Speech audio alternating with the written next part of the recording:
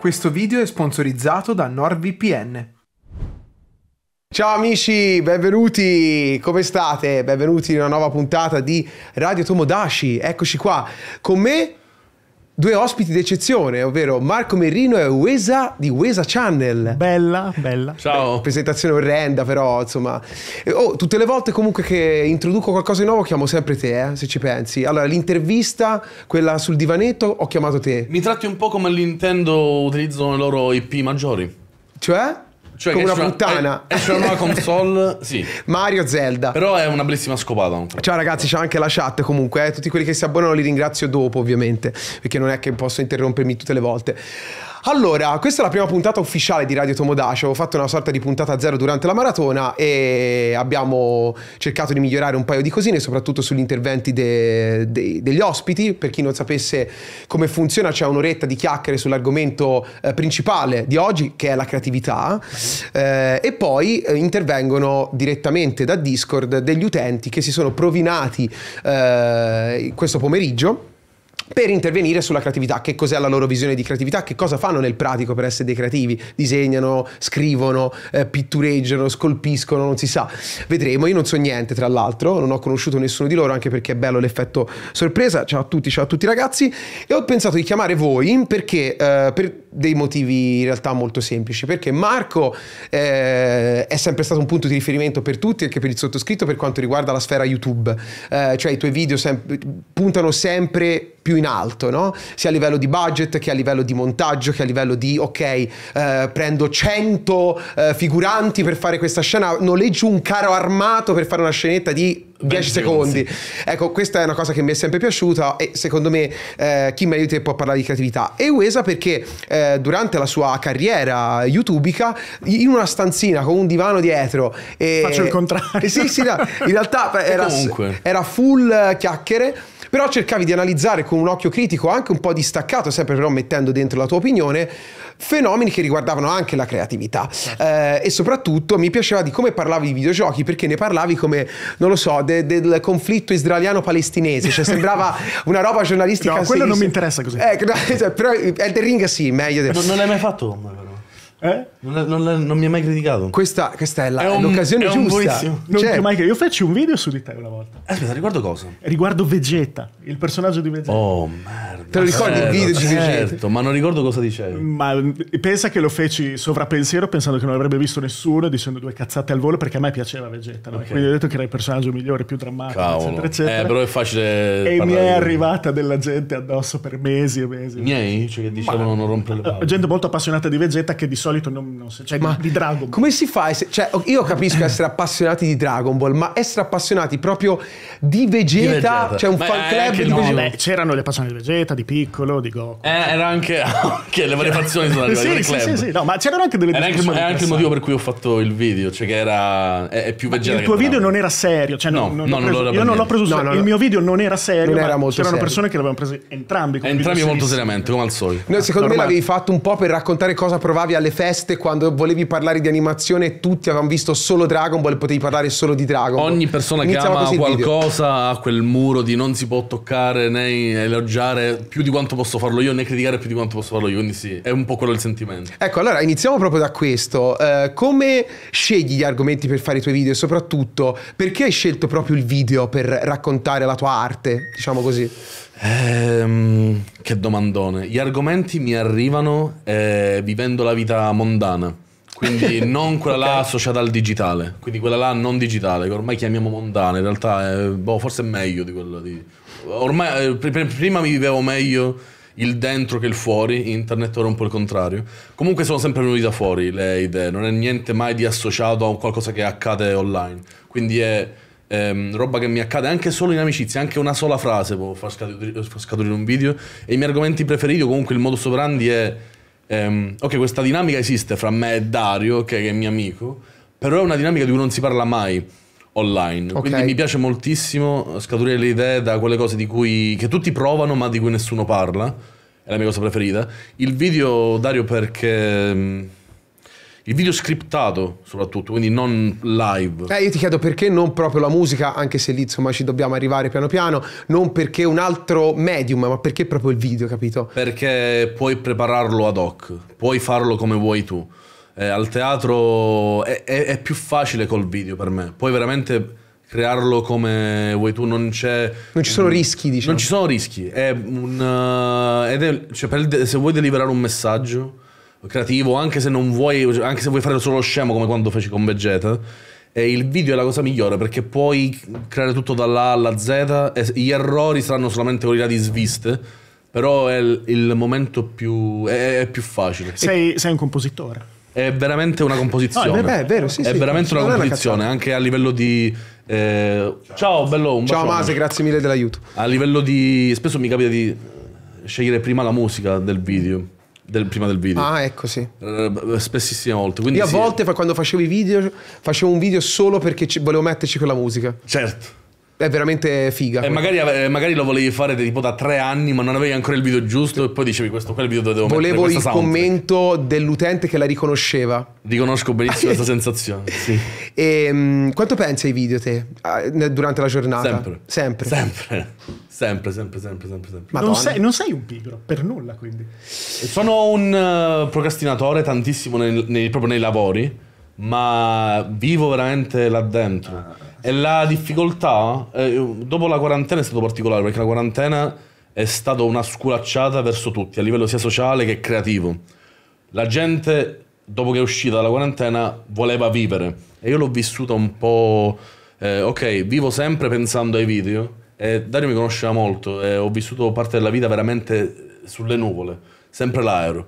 Non mi interessava molto di anche condividere quello che pensavo, se non come video. Pensa. Da un po' di tempo a questa parte invece ho iniziato a, anche con un alfabeto sbagliato, con eh, il, il corpo, a cercare di spiegare da dove, da dove provengo a livello proprio di eh, idee. Perché quello che mi viene in mente su, su quello che stavi dicendo della composizione, no?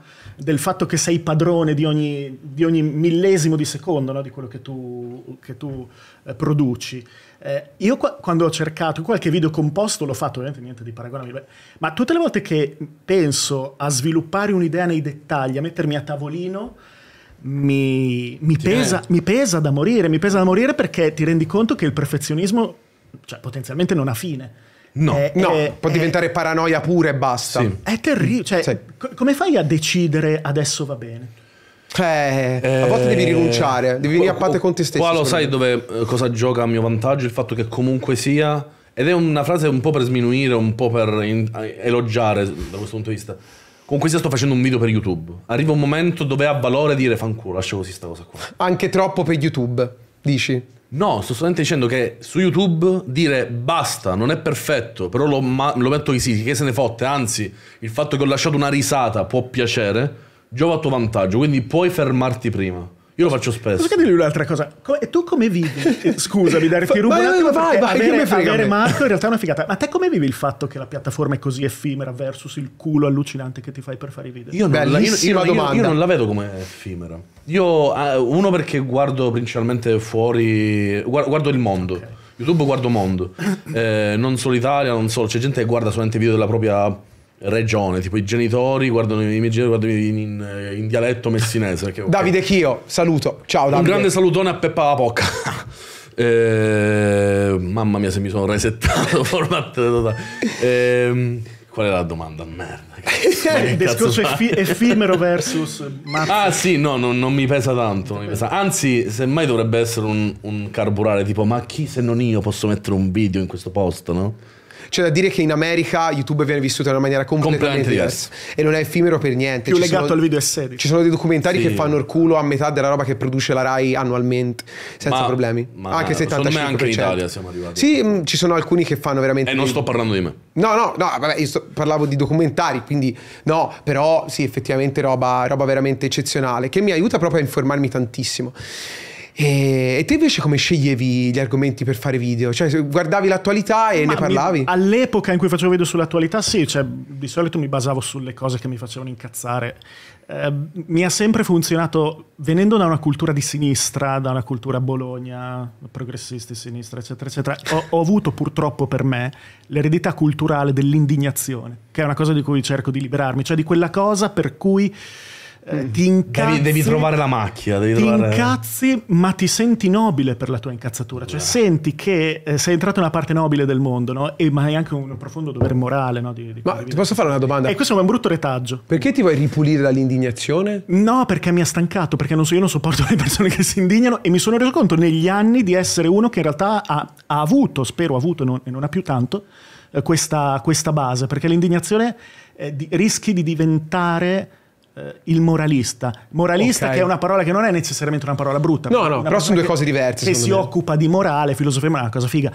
Però il moralista rischia di essere quello che... eh, vuole disegnare i limiti alla libertà degli altri. Ok. Eh, discorso, ad esempio, politically correct, visto che eh, se ne parlava prima, il problema del eh, andare a pestare eh, con, con i tuoi parametri morali quelli degli altri, imponendoli come, Veri. come veri, come assoluti, come usa adesso, quando io mi offendo, la tua libertà deve finire. Ok. Capisco. dato che offendermi è una cosa totalmente privata, eh, nessuno può sindacare il fatto che mi stia offendendo veramente o no. Io posso offendermi quando voglio e quindi io ti possiedo perché ti comando.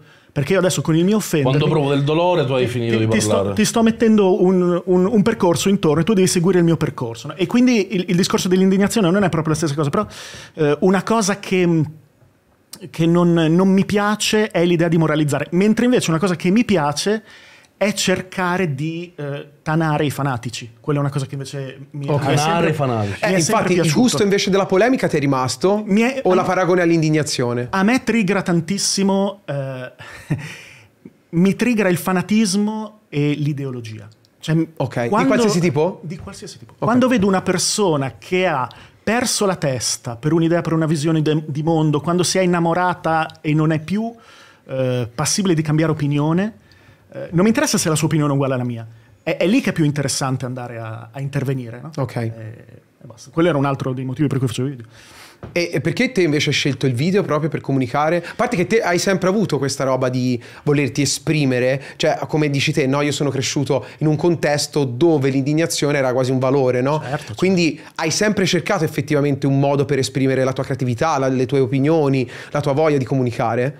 Sì, sì, beh, ma sai, io ho provato anche i blog prima dei video, ma i video sono più, mh, più efficaci, molto semplicemente come fuori. Cioè, per que- quello che facevo io non aveva bisogno neanche dello strumento video, però ho trovato che eh, funzionava bene, YouTube è una piattaforma molto buona per partire da zero, ti dà una chance, ancora oggi YouTube è una- è una piattaforma che dà una chance, il che Sempre sembra, di più. sembra incredibile, è vero, esatto, e, e quindi boh, mi ha funzionato, non è che io sia un videomaker, non mi definirei mai un videomaker. Ok, no, ha funzionato e come anche perché guarda, in chat leggo un sacco di commenti che vabbè, Marco è abituato a fare live e, e video continuamente, però te che sei un po' sparito, eh, ti, ti stanno, ti stanno insomma facendo un Bella, sacco di bella. complimenti. Li saluto. Se c'è Angelo, so che ho reali- realizzato il suo sogno in questo momento. Chissà. Chi è Angelo? È un, un mio fan e fan di Dario. Ah, ok. E, e quindi eh, insomma, Cioè, proprio il vive ponte. questa. esatto, Ponti- ponticelli. esatto. Se fosse nudo su questa scrivania sarebbe perfetto. Ecco, invece, eh, ah, tralasciando il discorso video, che comunque è sempre molto importante, voi cercate anche il bello, l'arte, la creatività in altre cose. Marco, lo so, ovviamente nei videogiochi, anche te nei videogiochi molto spesso, ma perché eh, secondo voi sentiamo il bisogno di cercare il bello anche in quello che non facciamo noi? Perché abbiamo bisogno di stimoli o c'è anche altro?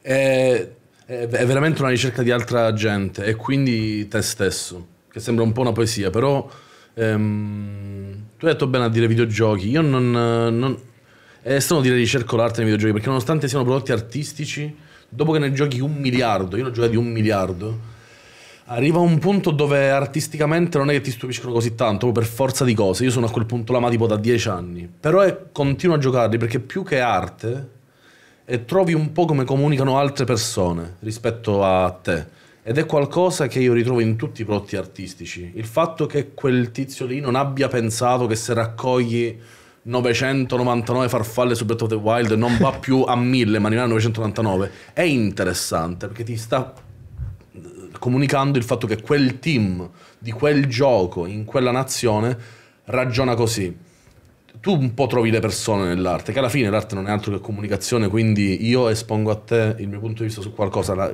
con la mia comunicazione. Quindi ti parlo anche di me quando ti parlo di quella cosa là.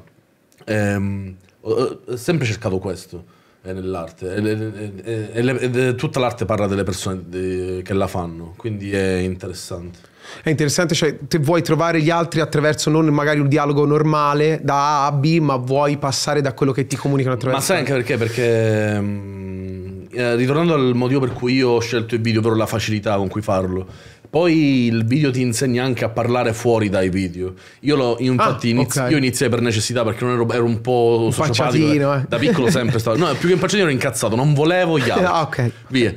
Eh, poi ho imparato, certa gente non impara o continua a reputare più virtuoso parlare attraverso l'arte che semplicemente a perso- da persona a persona, perciò a volte non puoi che parlare con qualcuno guardando le cose che fa, perché non ti parlerebbe altrimenti. Quindi è questo. Ok, per te invece?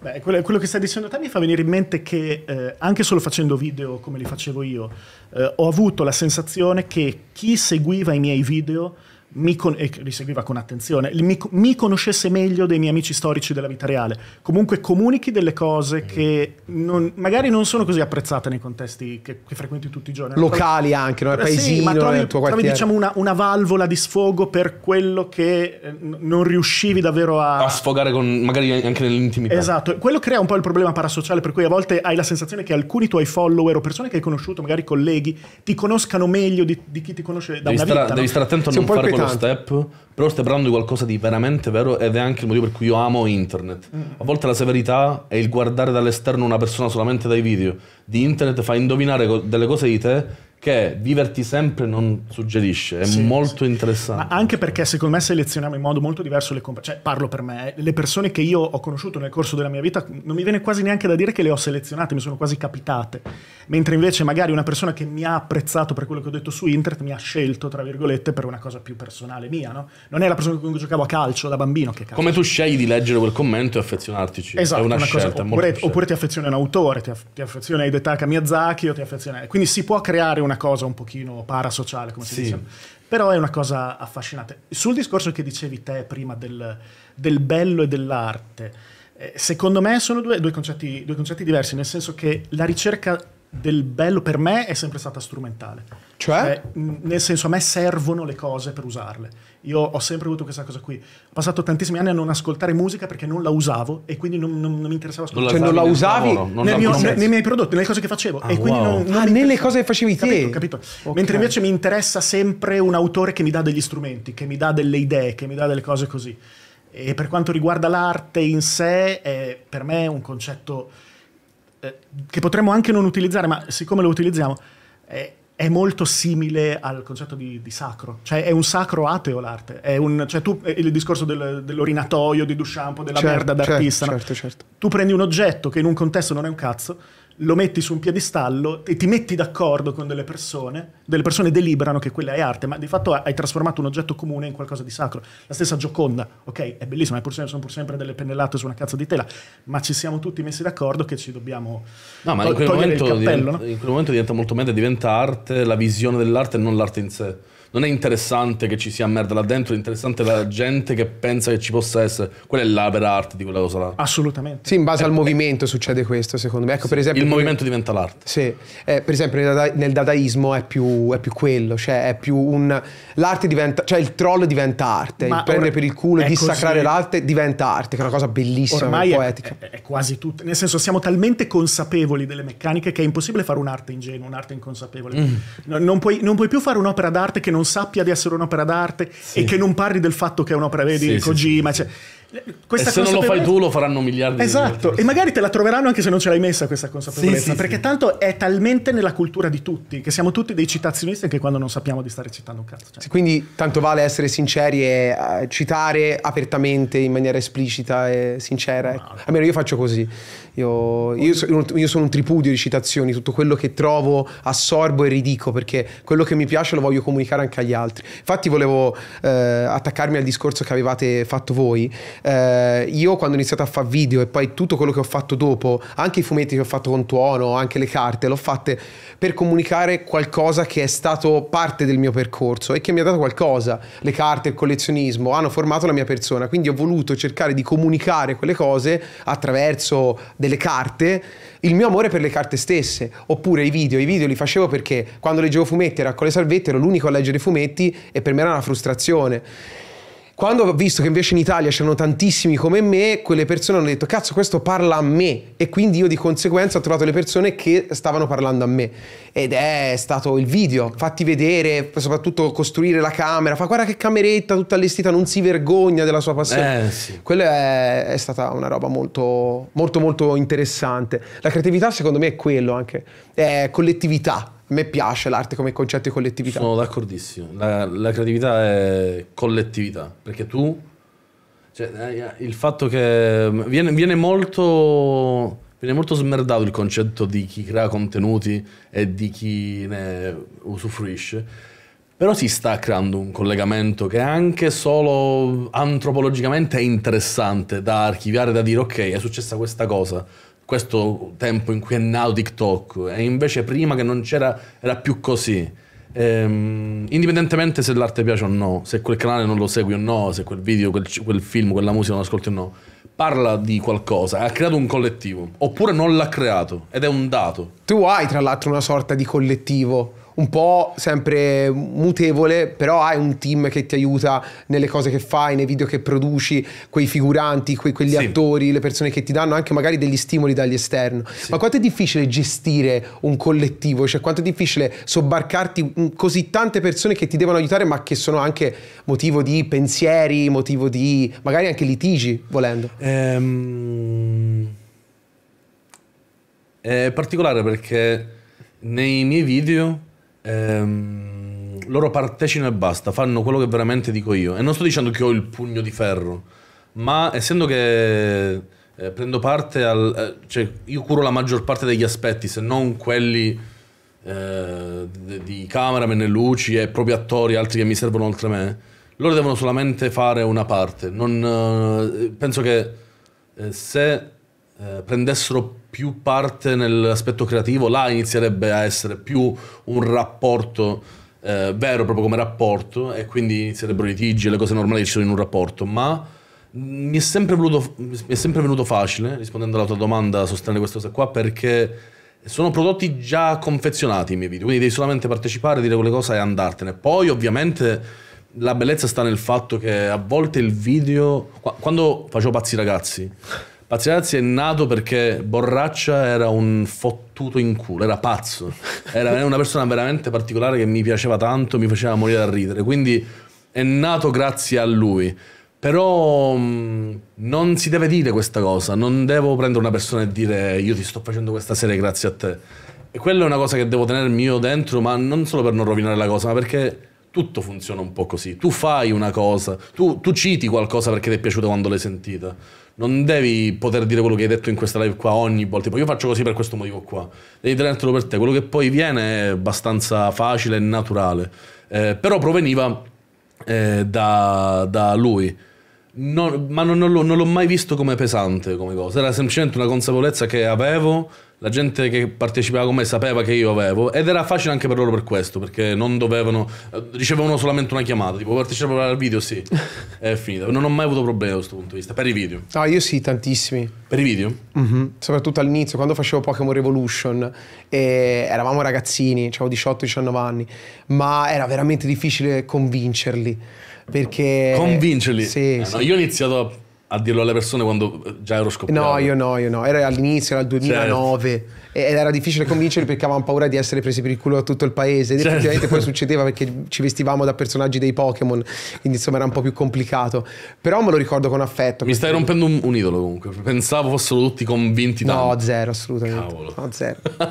che in realtà forse inventavano scuse, mi paccavano. Un giorno andai sotto casa di Riso perché eh, doveva girare Di che anni stiamo parlando? 2009-2010 Merda. e e lui disse no no sono, sono via in realtà eravamo sotto casa sua ed era lì cioè era lì quindi ci aveva proprio raccontato una cazzata palesemente ma è così perché non, non- non voleva più ma non voleva dirmelo era veramente difficile Era, si era anche piccoli. Mm. E io eh, forse all'inizio invece prima della divulgazione dei fumetti volevo far ridere le persone e la trovavo una forma, una forma altissima di, d'arte anche far ridere Lo è. Madonna, è, Lo è. è la cosa più difficile.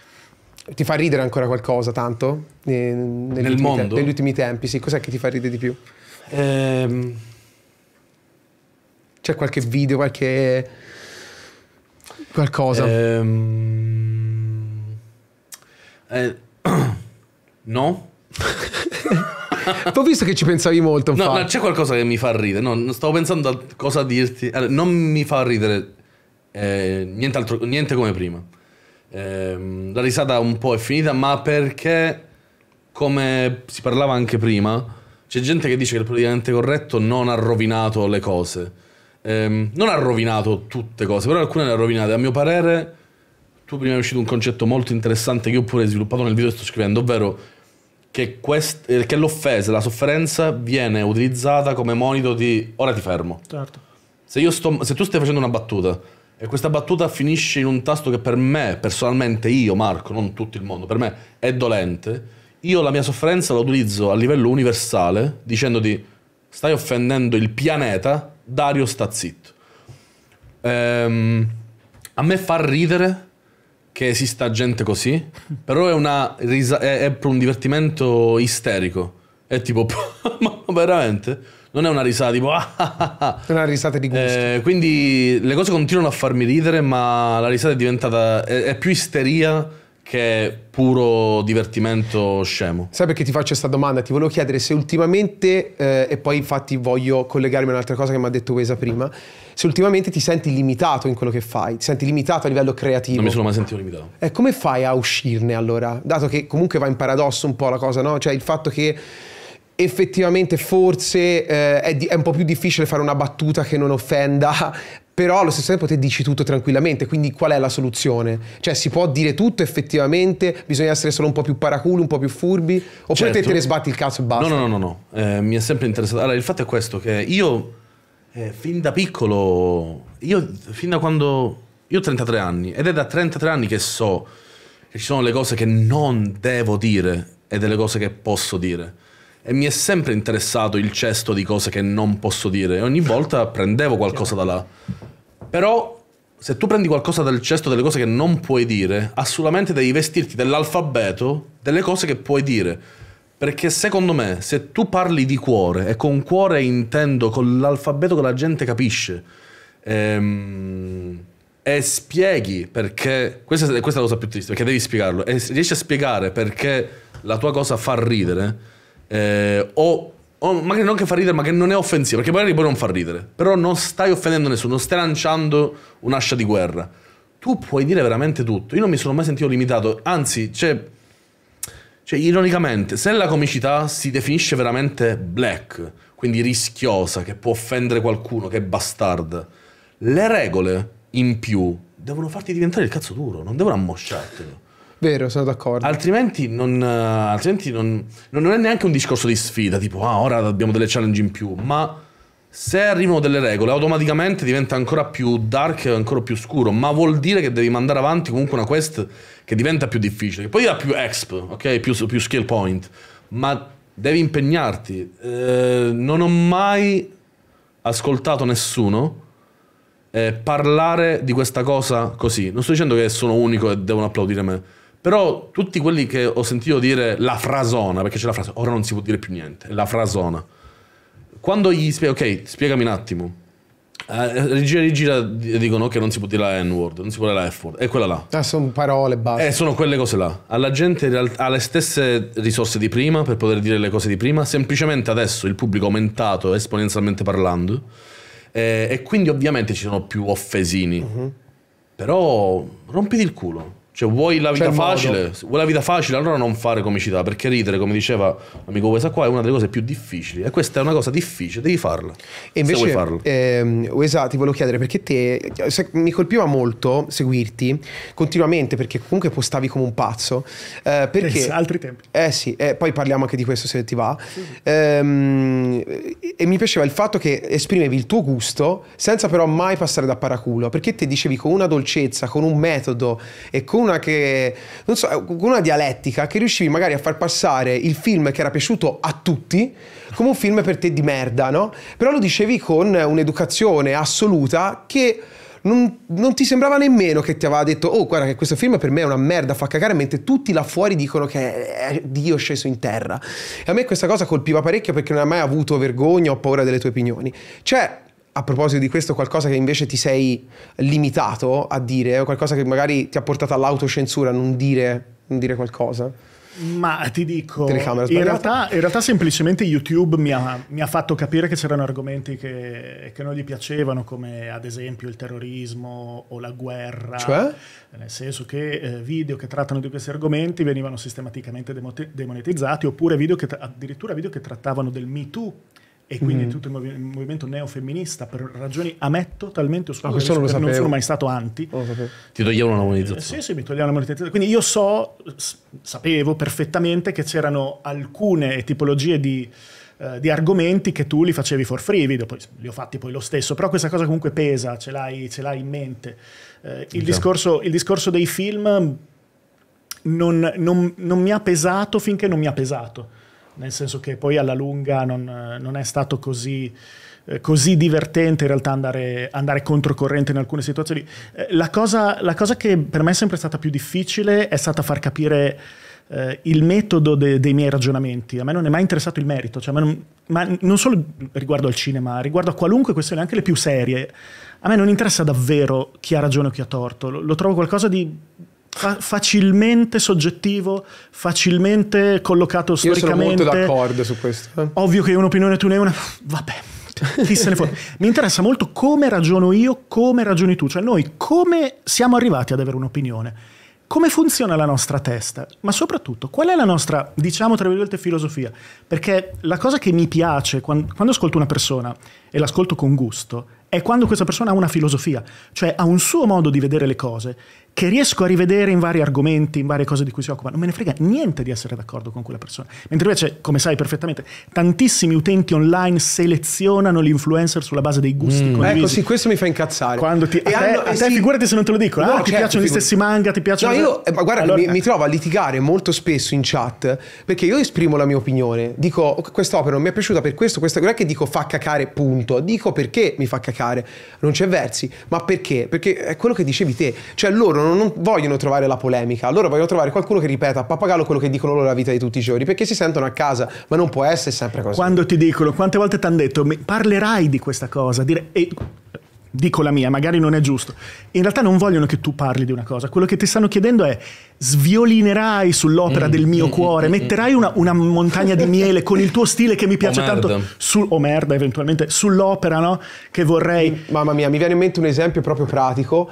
Io, l'ho detto mille volte, ho detto, ho dichiarato che non andrò avanti con Berserk perché era morto Miura, era morto l'autore. E ho detto non leggo i nuovi capitoli fatti dagli altri perché per me Berserk è morto con l'autore. Vabbè, è una scelta. Impossibile, impossibile accettare questo. E arrivarono a dire addirittura te hai un dovere come divulgatore di, di- di- di fumetti, manga, eccetera, di leggere i nuovi capitoli. È un po' vero, però se ne fotte. È un po' se ne così, puoi fregarti. Può darsi, ma vaffanculo. Può darsi, ma vaffanculo. Cioè, eh, anche per quello, no? Io, cioè, se muore un autore, a me dispiace che non la finisca proprio lui, ma che la finiscano gli assistenti per sentito dire. È l'opera di altri autori. Eh, non, non mi va. Ma- magari è bella, che ne so. Magari è bella. sì, Magari sono più bravi di lui, non credo. Magari sono- Mm, dubito fortemente. Comunque, quello. secondo quello che hai detto prima, ecco perché hai visto l'indignazione a un certo punto come un ostacolo. Perché innamorato più del metodo che Sì, effettivamente sì, dell'opinione sì, eh, soggettiva. Io ho sempre paura di sviluppare male i miei ragionamenti. non me ne frega nulla di quello che dico paradossalmente. E, no, Ah, bella questa. sono, sono preoccupato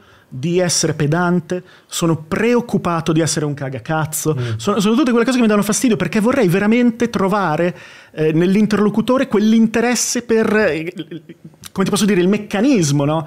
Hai visto come siamo fatti? Hai visto quanti cazzo di... Cioè, È, in è realtà... super pretenzioso come desiderio. Eh certo eh. che è pretenzioso, Cioè, ma infatti ho perso la stesso. voglia, ho perso totalmente Certo, l'energia. è è cose un po' utopico, sì, sì. È utopico, è totalmente utopico, perché tu vorresti un, un interlocutore, visualizzatore ideale che si appassiona del- di, di tutto ciò che abbiamo distorto nella nostra mente e di tutti i cosiddetti bias o eh, pregiudizi, eccetera, eccetera, Sì, e in, un- in una costante ricerca di un'onestà intellettuale che è sempre la sfiori, poi la perdi, la sfiori perché poi ti- ogni volta ti innamori, no? ti innamori di una stronzata, ti innamori di qualcuno.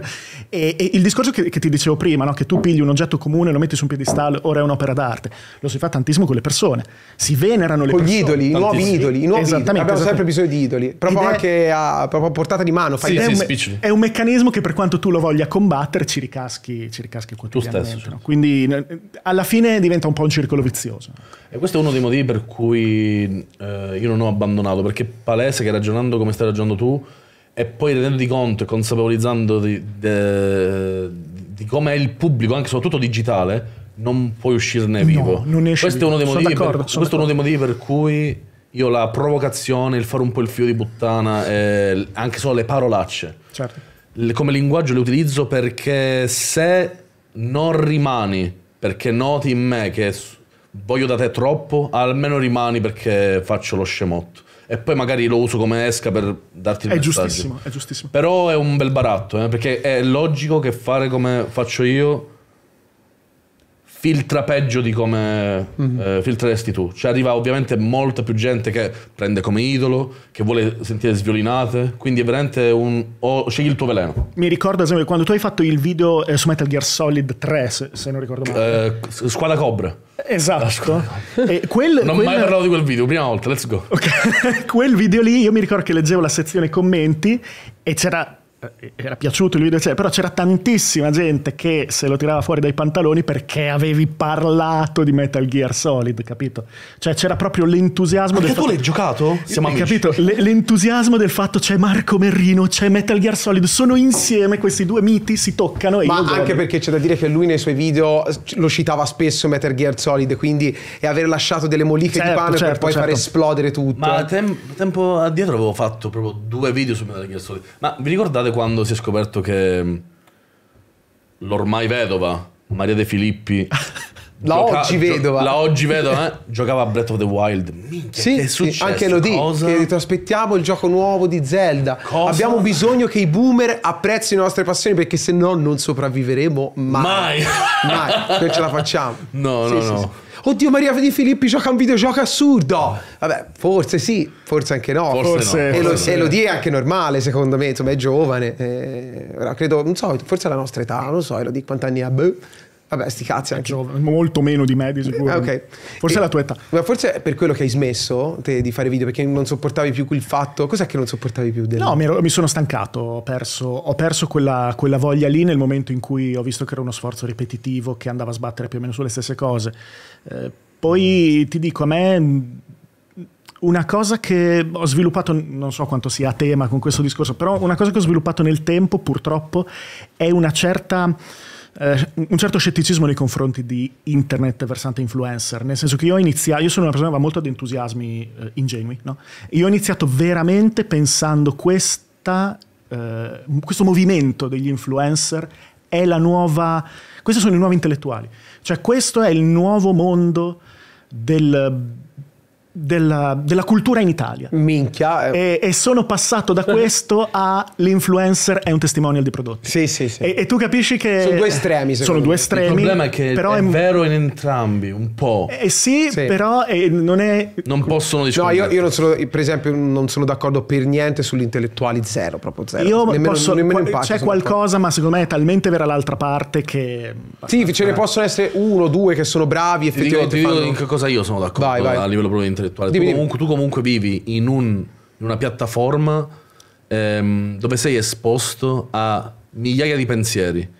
Eh, ormai su internet ci stanno anche persone di grande, non solo intelletto, ma anche titolo, eh, soprattutto estere. Io guardo solo estere. Che Anch'io secondo me anche solo l'esposizione a loro, il guardarli, ti rende meglio anche solo come spettatore di quello che eri ieri che guardavi solamente tizi con le parrucche che facevano comicità copiandola dagli americani. Ehm, esempio, c'è veramente un abisso incredibile. C'è, c'è ancora gente in Italia che vive senza internet. Eh, e non parlo di eh, solamente intrattenimento, quindi o fautori di contenuti o gente che ne usufruisce, senza internet. Ehm, sembrano delle scimmie. Non lo sono, eh? Viva le scimmie comunque sia. Sempre. Ma eh, più andiamo avanti, più la differenza fra chi sta dentro e chi sta fuori è gigantesca. Ehm, ma nel senso che a volte sono così anche fuori dal topic e non quel topic là, ma il topic internet che mm, io non ci voglio neanche parlare perché è difficile se va- va- vado a volte io abito in un paesino vecchio, nel senso che ci sono molti vecchi a San Donato Milanese. Ehm, si vede tanto che non usando internet e non stando con i loro nipotini che li hanno droppati, vivono eh, in un mondo. ehm, Li puoi farmare. li puoi? Li puoi farmare. Li puoi farmare, certo, certo. Vivono in un mondo di 50 anni prima e quello che, di- eh, quello- quello che dicono sembrano notizie di notiziari di 50 anni prima.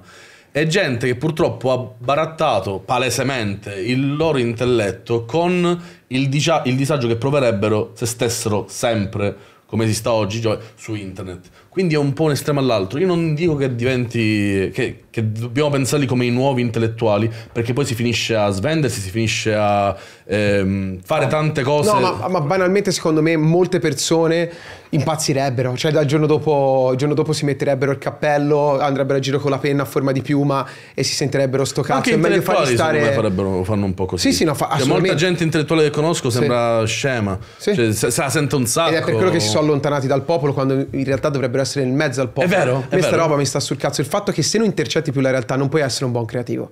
Cioè se non sei nel mezzo al popolo, non puoi capire il popolo, non lo puoi interpretare e non gli puoi passare assolutamente niente perché non lo interpreti più. E il problema degli intellettuali di adesso è che non interpretano più il popolo, non sentono più il volgo proprio, non hanno idea e quindi non sanno più parlargli. Poi ovviamente l'uomo della strada può dire anche tante cazzate perché è ignorante, perché gli mancano le basi, gli manca proprio magari anche l'internet per capire il linguaggio dell'internet. basi, sì. Ecco, quindi mi collego a quello che hai detto te. Ma allo stesso tempo bisogna educarlo allora questo popolo. Sì. Se credi che sia così ignorante e stupido, devi provarci, però con il linguaggio aulico e soprattutto mettendo un muro tra loro e te, innalzandoti, non arriverai mai da nessuna parte. Infa- Infatti, prima ho detto una cosa che poteva diventare velenosa, ovvero ho detto: Io a volte con queste persone non ci eh, voglio parlare Ok. perché senti che sono così distanti da te. Sì.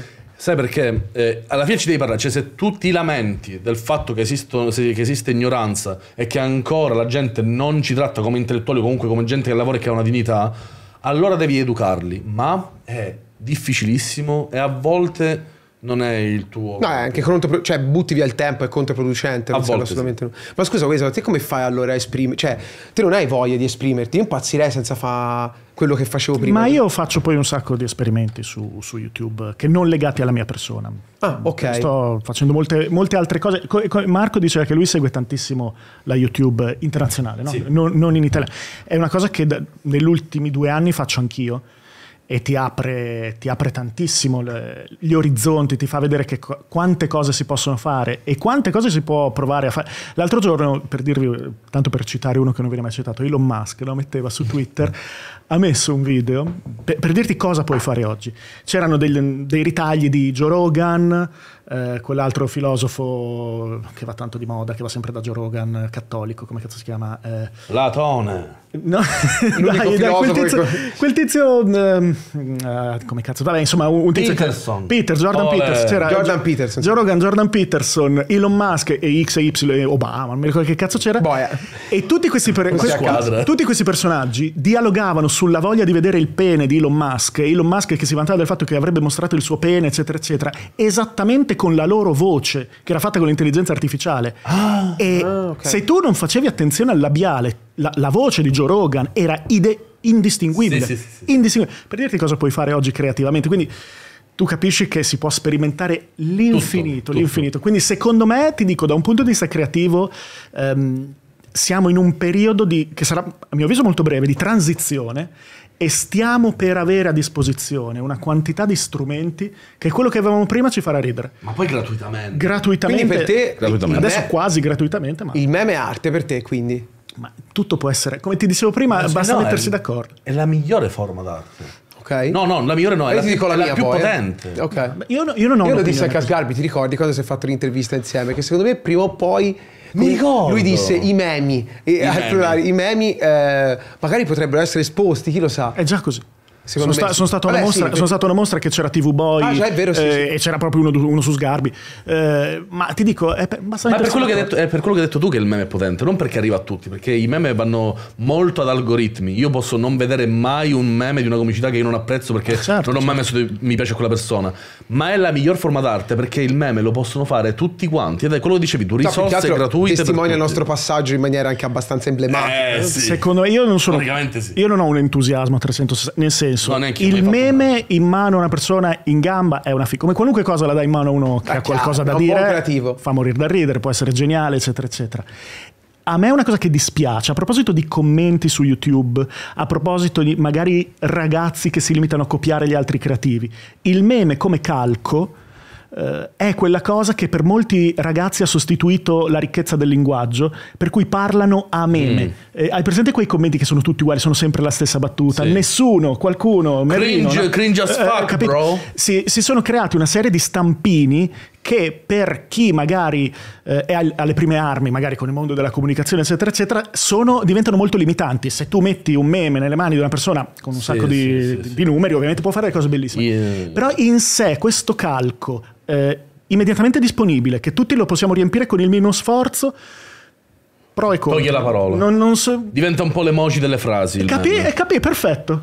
Potremmo parlare soltanto potremmo parlare a meme. Potremmo parlare soltanto a meme. Potremmo parlare a me. E in più si crea un elitismo che a me fa schifo. Io non sopporto l'elitismo dell'intellettuale, quello che dicevi tu prima, eccetera, ma io non sopporto l'elitismo che se tu non hai eh, perfetta contezza del- dell'ultimo slang dei meme di, di Sono- 4chan, sono eccetera. d'accordissimo, Ah, guarda, io adesso ti. Dici che è un po' Non so parole qui cosa no? possiamo Cioè, dire. È una roba che. No, Dario, troppo, troppo. Capito? Prima, prima tu parlavi di muro. Sì. Fra, soprattutto par- parlavo di vecchi, quindi che non hanno internet. Se tu chiami un boomer boomer, già sei tu il boomer. Eh, abbastanza. Se Ok. tu, dici, se tu dici boomer a un boomer, quindi che non sa cosa vuol dire, e l'unica cosa che sa è che lo si utilizza come insulto, e non lo è neanche. È tipo una roba storica più che insulto.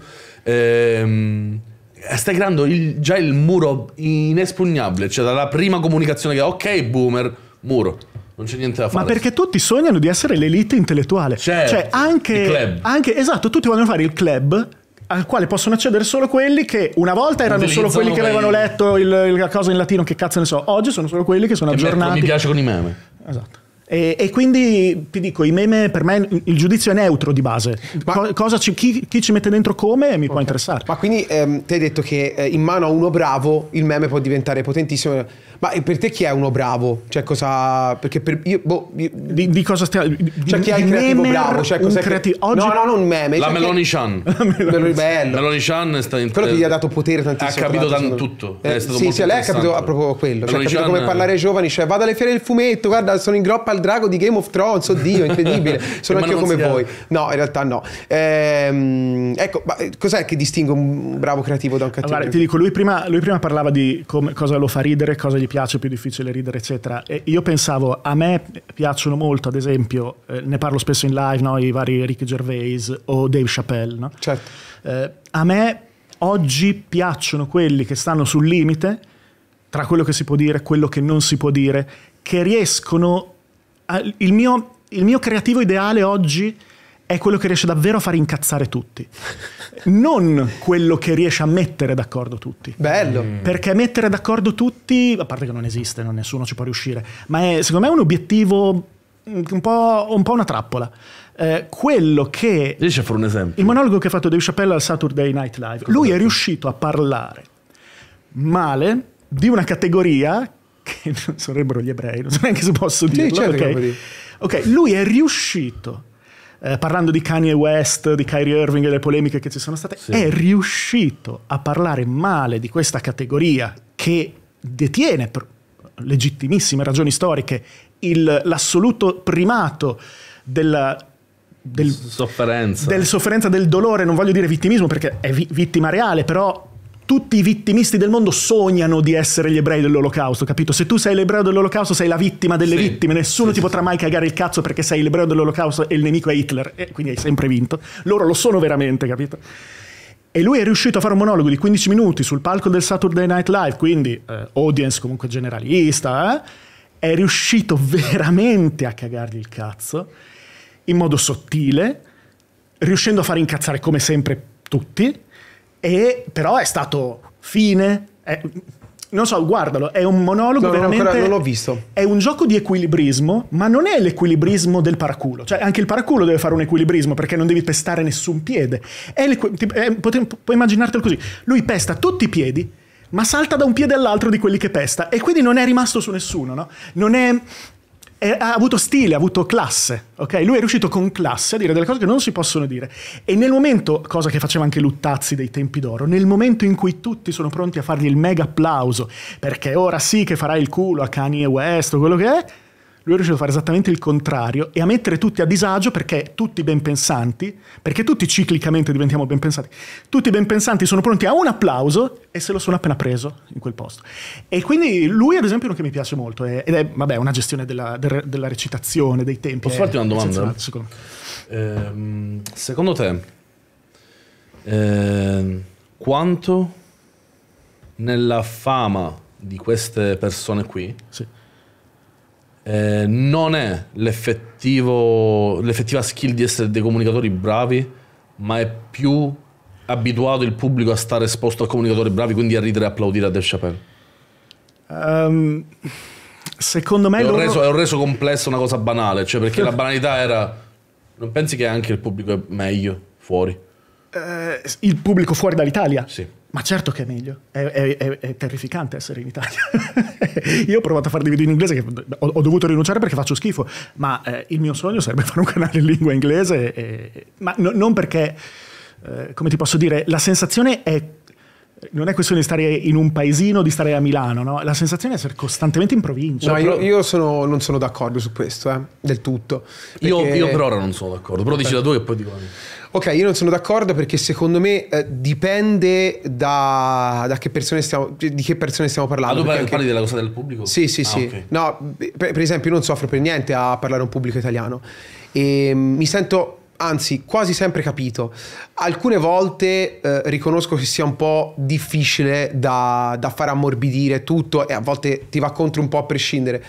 Però mi trovo molto a mio agio, cioè, mm, anzi, Forse su internet però. Là si parlava di una TV A generalista. me ti dico... Ah, per la TV generalista è un altro discorso, forse, però non lo so. Secondo me è che il pubblico furbo, il pubblico figo italiano non guarda la televisione. Ti dico, eh, al di là di televisione e internet, il- il discorso del mio personale sogno si fa per dire di Sì. fare una cosa eh, su una YouTube International, diciamo così. È ovvio che le persone in gamba e, e- e sveglie, che- che- che- a cui una persona ha piacere di, di parlare, di, di comunicare, sono ovunque, sono in Italia, sono, questo Certo, assolutamente sì, sì, chiaro.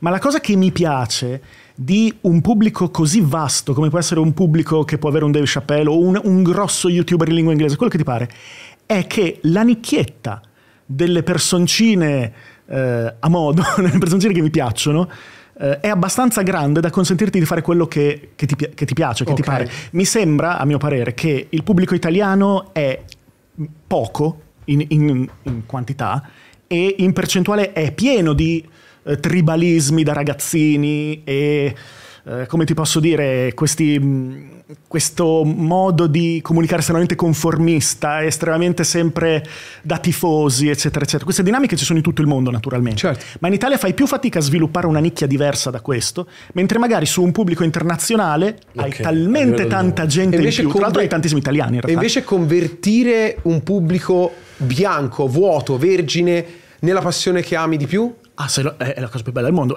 Me. dateceli da piccoli saranno Secondo me è nostri. possibile anche in Italia. Dateceli da piccoli Possibile? e saranno Certo nostri è per tutta la Secondo me è vita. possibilissimo. sì. Secondo me ora più che mai. Però devi parlare ai bambini. Mm, secondo me anche a ventenni. Guarda, ci sono tanti ventenni che non sanno in che passione investire il proprio Ah, tempo. non c'è dubbio, non c'è dubbio. O se sono passioni sono guardo una serie di Netflix, che non è una passione, guardarsi una serie Certo, su Netflix è diverso. La passione per la serialità, la passione per il cinema, Però tu- l'audiovisivo. Tu, li è vorresti fare, cioè tu dici app- farli appassionare a una singola cosa, non so, i fumetti o una E cosa io così. ecco, quello che ho sempre fatto è sempre stato quello. Cioè, io quando parlavo su YouTube di quello, e anche ora su, su Twitch, è quello. Cioè, io voglio farli appassionare a una roba che non sapevano di volere e che improvvisamente vogliono. Sì. E fanno, cazzo. Quanta, che roba ho scoperto, cioè, ma io dove, dove ero fino adesso, capito? Che poi il motivo del perché tanti giochi che prima si giocava in tre, adesso li giocano in mille, un milione di persone, quando invece no, guarda i Souls. Cioè, i Souls prima erano di una nicchissima, Certo. adesso invece li giocano tutti. Vuoi perché eh, per il passaparola delle loro- del- del- della loro estrema difficoltà, vuoi perché grazie a tanti divulgatori sul web, compresi anche qua in Italia, Michele, Affini, hanno, fatto, eh, hanno divulgato quella tipologia di gioco, ma comunque quelle persone adesso sono molte di più rispetto a prima. Quindi secondo me quella conversione c'è, ci può essere anche in Italia e se ce la fai in Italia, secondo me è un Ma motivo d'orgoglio non è la cosa a cui di- è ambisco più io. difficile. Ah, ok, ci sta. Cioè, no, nel Eh, senso, la mia. dico no, no, ma hai ragione. Però eh, ti dico questo. Per dire, a me piacciono moltissimo i Souls, no? Eh, Però non, non avrei mai come obiettivo. Sì, molto. Sono molto appassionato dei Souls. E non avrei mai come obiettivo. eh, cioè, non, non mi pongo come obiettivo far appassionare una persona ai Souls. Cioè, o far, o non so, mi piace Umberto Eco. non- non- devo far appassionare una persona a Umberto Eco perché. Non lo so, boh, Un appassionati. modo c'è, secondo me. Appassionati a quello che ti pare. Cioè, capito? Ah, Nel senso, ok, per ok. dire, cioè, non so, a me piace, eh, piacciono i Souls e sono super appassionato dei Souls Ok. e li adoro, ok, va bene. Però io non so un cazzo, cioè, e questo è il punto. Eh, quindi non lo so, io ti consiglio i Souls, ma boh, cioè, là fuori c'è tanta roba, magari c'è anche di meglio, che cazzo ne so io? Quindi, E- e Io, io a volte lo faccio, questa cosa qua che fa Dario. Intanto invito perché- gli utenti a prepararsi su Discord, ragazzi, mettetemi in in Io, fila io che a volte questa cosa qua di Dario la faccio perché mh, l'Italia è, è un po' il paese dei lamentosi. Quindi sembra che la felicità è impossibile da toccare, non esiste. Quindi a volte lo faccio proprio a livello di marketing. Ovvero, ragazzi, voi che la- vi lamentate che dite che non c'è questo gioco e che non Vabbè, ci esiste. sta, ci sta, ci sta. Invece, invece guardate cosa ho scoperto io solamente perché io ne sono molto esposto perché faccio l'influencer, quindi per forza devo giocare alle cose. Comunque sono e mi viene più facile, molte volte mi regalano i giochi, è più facile per me. Però cioè, quindi mi sacrifico per voi ragazzi, gioco a tutto per consigliarvi che fra quei mille che ho giocato questo qua magari se spendete soldi su questo ehm, a volte lo faccio così. no, no, ma è, è figa come cosa, cioè, assolutamente sì. Che bellissimi bicchieri. Dovresti dare a te quello bianco e a me quello nero. Vai, bello così, effettivamente. Bene ragazzi, eh, io direi che se, siete, che se siete pronti su Discord potete fare entrare il primo. Il primo- Io non so niente di questi utenti, eh, proprio nulla. Vediamo, non so cosa devono dire, parlare, però bevo un po' d'acqua perché mi sono scordato di portarla. Tanto ciao a tutti qua in chat. Ciao Manuz, grazie. No, non è una DV, però se c'è qualche marca d'acqua che ci vuol da Vaini, a me non è che... Sarebbe fighissimo. Io della panna vorrei farmi sponsorizzare. È- È la più buona, secondo me. No. Buonasera. Oi, ciao, come ti chiami tesoro? Eh, nickname o nome? Dario. Pure io. No, Dario ti chiami, ok, ti chiamiamo Dario. Se no il nick qual è? Andiamo Nick. Rezzi. Rezzi. Eh, confermi? Sì, sì, sì. Come faccio a sentirvi? Perché sento solo te, Dario. Eh, ci siamo, ci siamo. Eh, no, Eccomi. Ah, ok, ora Non stavano proprio parlando, capito? Quando stanno zitti non si Perfetto. sente, quando parlano li senti. Vabbè, non prendere per il culo. No, scusami. E, no, e non so perché, ma quando arrivano gli utenti subito parto così. Una cosa, devo, devo stare calmo. Sì, sì. Che cosa fai nella vita, tesoro? Io sono un full stack developer, un programmatore. Ah, figo. Per chi? Si per quell'azienda? Eh, no, no, no, dicevo, cioè, poi i modelli 3D li fai vedere a tua nonna, alla tua ma- No, devo smetterla. Sì, proprio. ma- ma che- Sì, sì. no, sì, per quell'azienda, per quell'azienda intendevo. Adesso stronzo io. No, no, Sì, no. sì. Eh, si chiama Nigitor, Nigitor Consulting. Ah, ok, ok. E, ehm, ecco, perché hai deciso di, di fare questo lavoro? Cos'è che ti appassiona di più di questo mestiere? Raccontaci un po' della tua attività. Dell'informatica. Creare. E creare anche siti web, eccetera. Anche se sono qui per eh, un altro argomento, che è una cosa che faccio per hobby. Ah, dici tutto. Eh, non- pensavo di essere off topic, però i tuoi moderatori mi hanno detto che non è il caso, eh, cioè che non sono off topic. Eh, io gestisco un team italiano di- che si occupa di metaverso. Ah, ok. Wow. Quanto riguarda The Sandbox, The Central, TCC World e anche banalmente Minecraft. Ok. Io non sono una sega. Lo, lo spiegheresti a uno che non sa niente di metaverso? Che cos'è il metaverso? Sì, di che cosa ti occupi? Cioè, cosa fai per hobby? Eh, io gestisco il team. Poi noi ci occupiamo di creare esperienze per dei clienti, sia privati che non. Quindi, per, so, per Decentraland possiamo creare anche wearables, quindi ne so, tipo eh, abbigliamento, eccetera, fare una passerella, un'esperienza una passerella e mostrare questo abbigliamento. Questo è uno dei tanti scopi eh, per cui creiamo esperienze. E Minecraft, modelle? banalmente. Scu- come scusa? Con le modelle? Con le modelle... Sì, però... Virtuali? Virtuali. 3D ovviamente, sì. Eh, ma scusa, ma che cosa cambia da fare una sfilata? I soldi praticamente. Cioè, cosa cambia da fare una sfilata normale? Ah, Che Perché non- che non ci puoi andare. È un posto accessibile anche da casa. ah, per quello. Mm. Vabbè, ma non puoi filmare la in diretta e streamare la... Pezzo. Che palle. No, a volte no. No, sto cercando di capire. No, perché comunque tu vai. tu allora- sei a casa, sei da sfilata, insomma, non devi sempre andarci. Dico la mia, Dario, se posso. Secondo me, cioè, quella- Certo. la bellezza che ci vedrei io nel metaverso è che eh, comunque tu vai in un ambiente che io me lo immagino un po' asettico, un po' apatico, nel senso non ci sono modelle, c'è qualcosa che può essere accessibile da tutti anche solo come gusto. Parlando della moda, io sono abbastanza eh, patito, mi piace. Milano dà un'immagine abbastanza spaventosa della moda, nonostante Vero, eh, a volte ci sono passerelle di vestiti anche molto abbordabili a livello anche di costo. Mm, è una cosa che tu puoi dire, ok, magari devi educare la moda, oppure ti stai zitto e te ne freghi il cazzo. Nel metaverso avresti la possibilità di vedere robe così senza la paura di incontrare gente o cose così. Mm. Cioè entri e vai, sei a casa, sei dall'altra parte del pianeta, è, è comodo. E questa cosa, Dario, funziona effettivamente? Cioè, ci sono aziende che eh, usufruiscono dei vostri servigi per, eh, per, eh, per, mm, non so, mm, presentare i loro prodotti, eccetera? Sì, sì, ci sono aziende che fanno questo. Ad esempio, eh, una cosa famosa su Minecraft per eh, l'Expo di Dubai.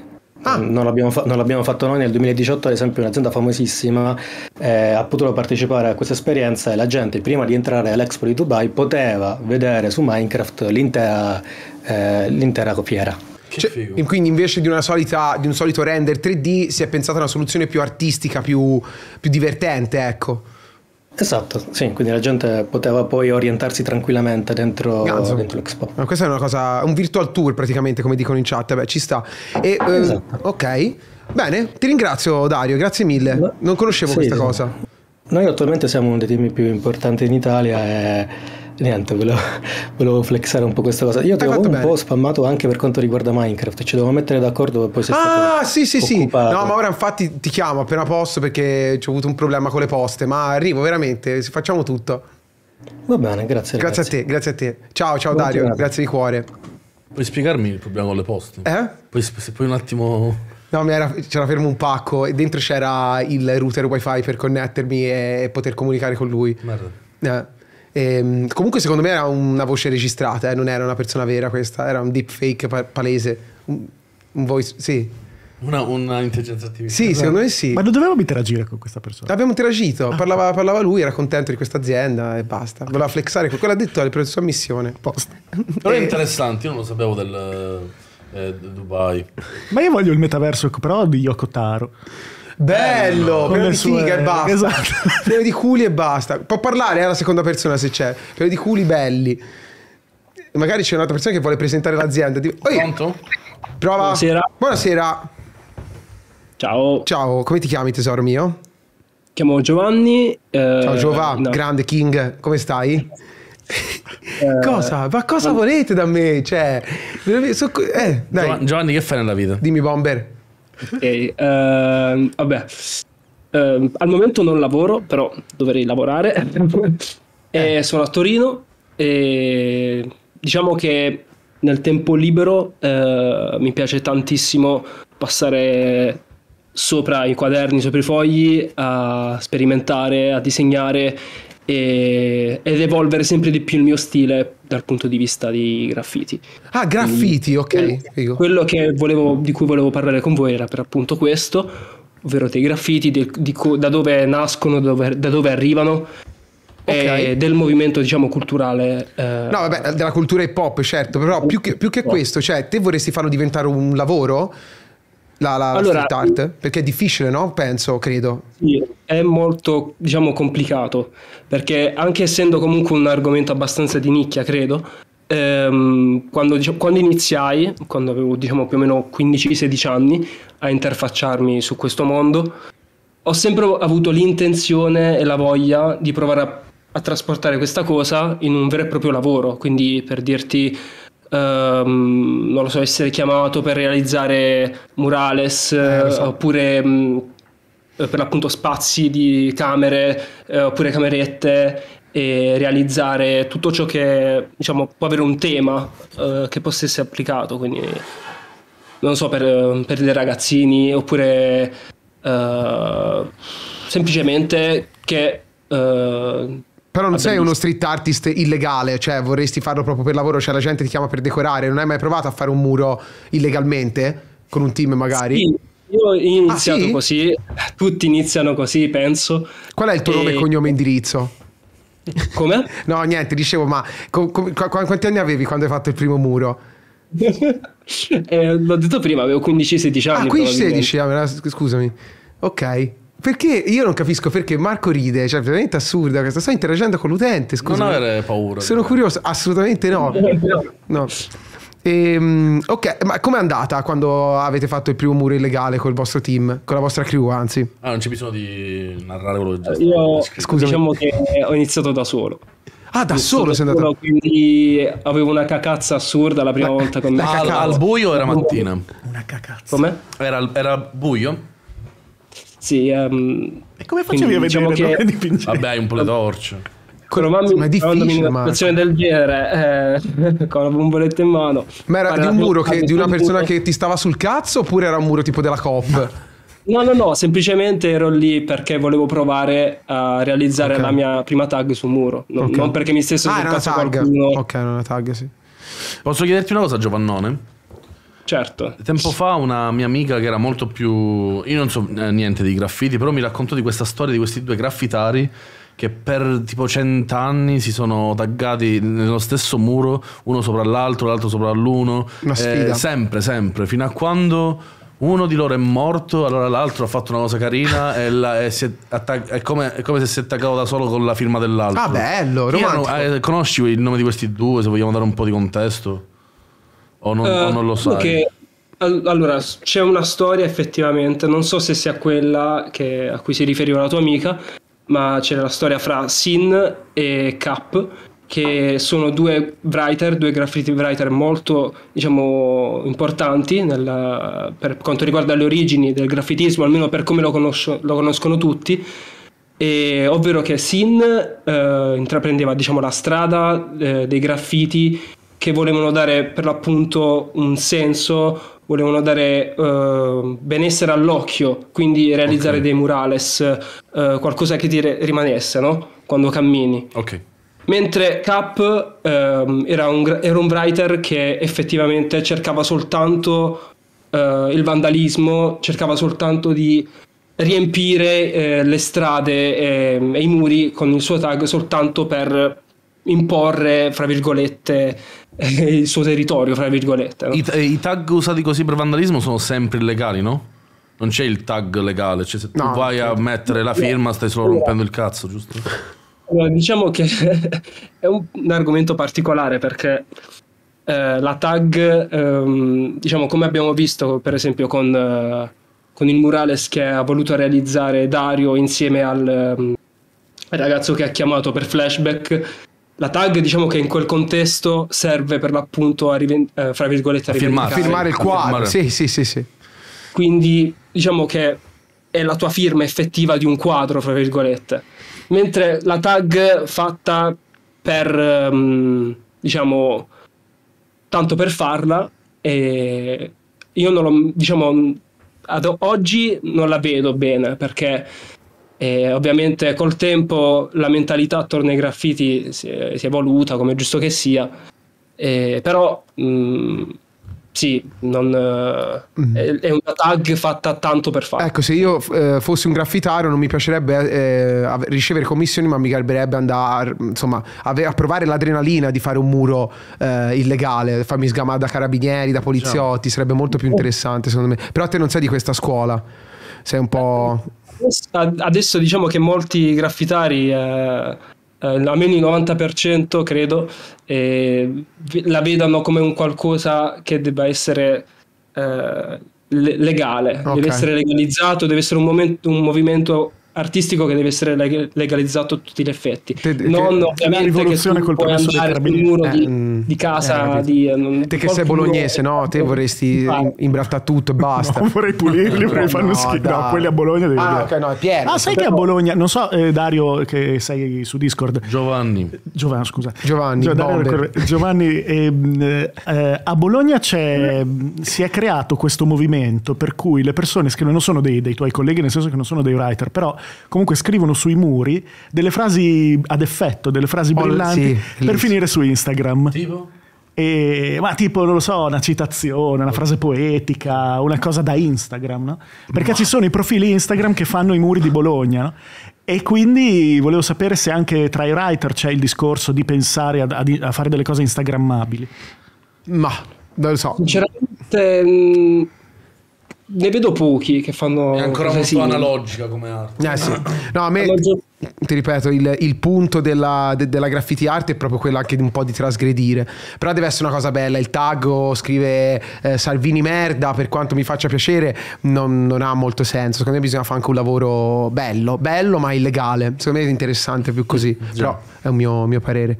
Grazie mille Giovanni comunque tesoro. Volevo lasciare una roba, ovvero volevo Dimmi. dire che se qualcuno diciamo, vuole capire un po' meglio questo mondo, vuole eh, esplorarlo, fra virgolette, consiglio di andare a vedere un film documentario su YouTube che si chiama, che si chiama eh, Style Wars. Style Wars, ok. Style Wars, e diciamo che è un documentario che vuole parlare di hip hop, ma si interfaccia di più sul mondo dei graffiti che su il freestyle e la breakdance, quindi è, è il DJ setting. Ok. Però diciamo che è, è un documentario molto interessante che vi fa scoprire tanto di questo mondo. Vabbè, se lo trovano su YouTube, ragazzi, avete sentito il titolo.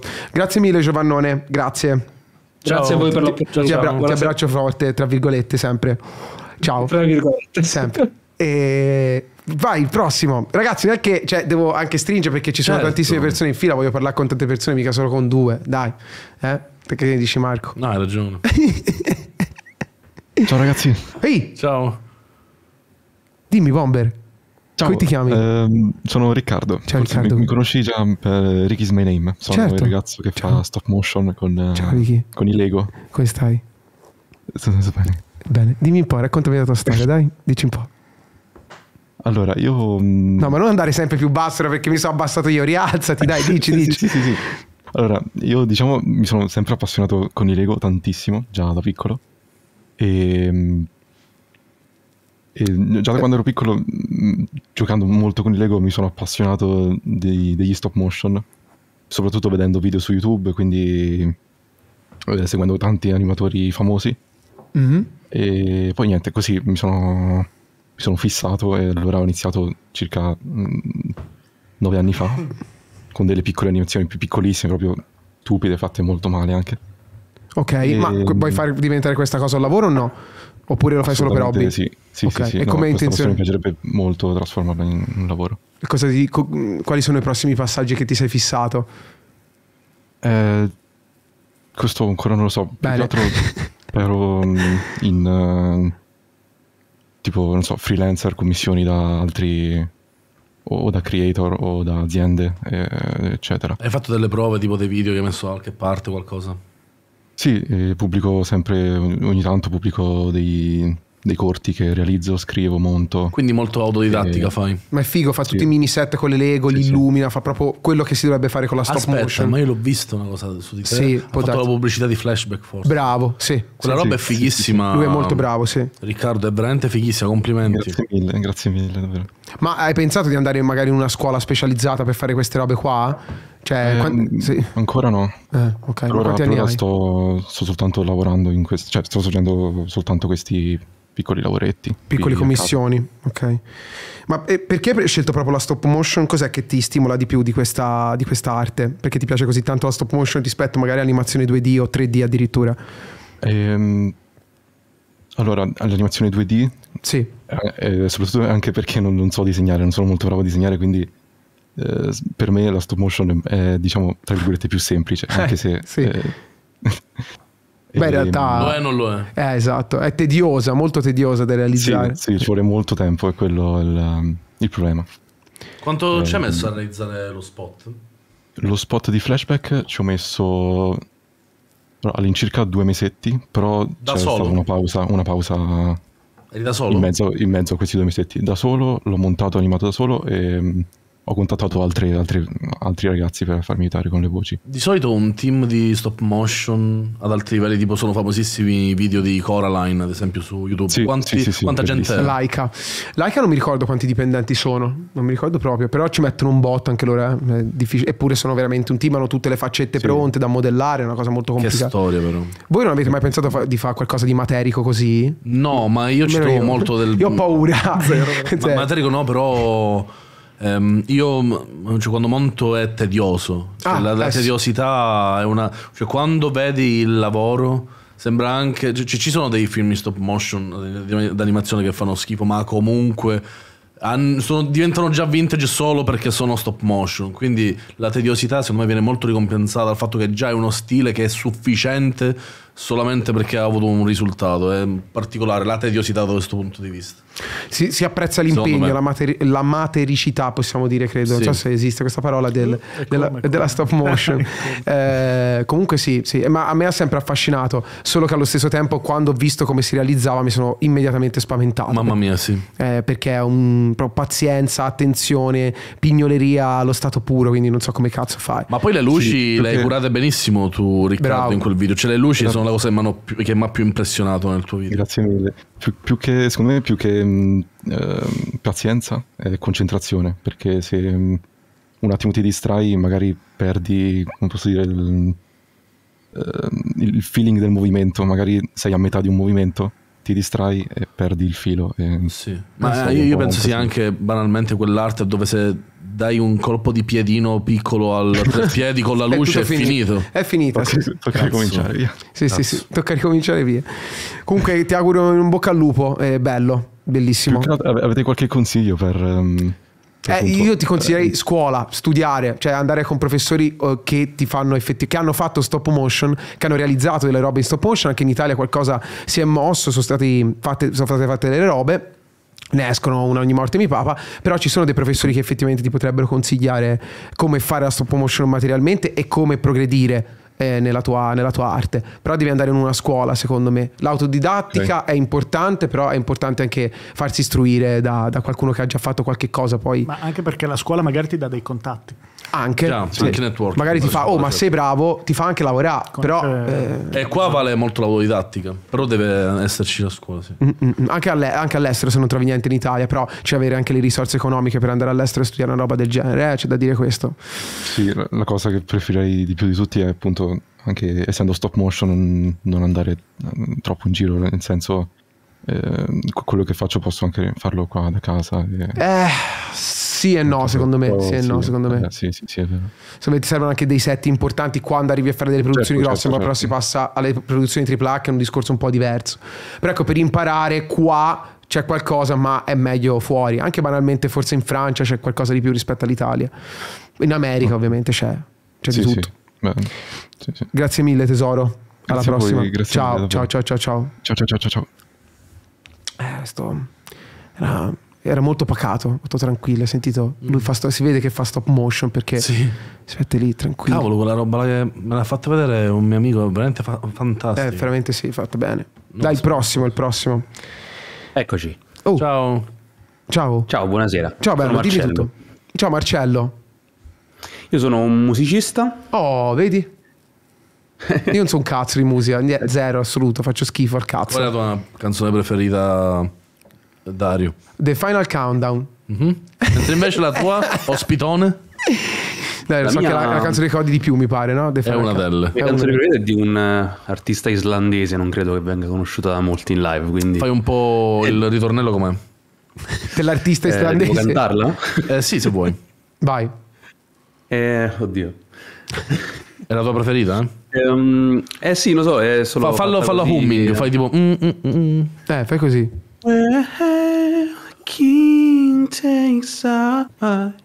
Che bella voce. È un K-pop idol questo. Falla saltando adesso. Saltando. no, perché magari muovendosi era anche un po' più performante. Complimenti. comunque. Bravo, bravo, bellissima voce. Grazie. Eh, vabbè, E tu cosa suoni invece? Io sono laureato in chitarra pop. Wow. Ok, hai la chitarra lì E- con te?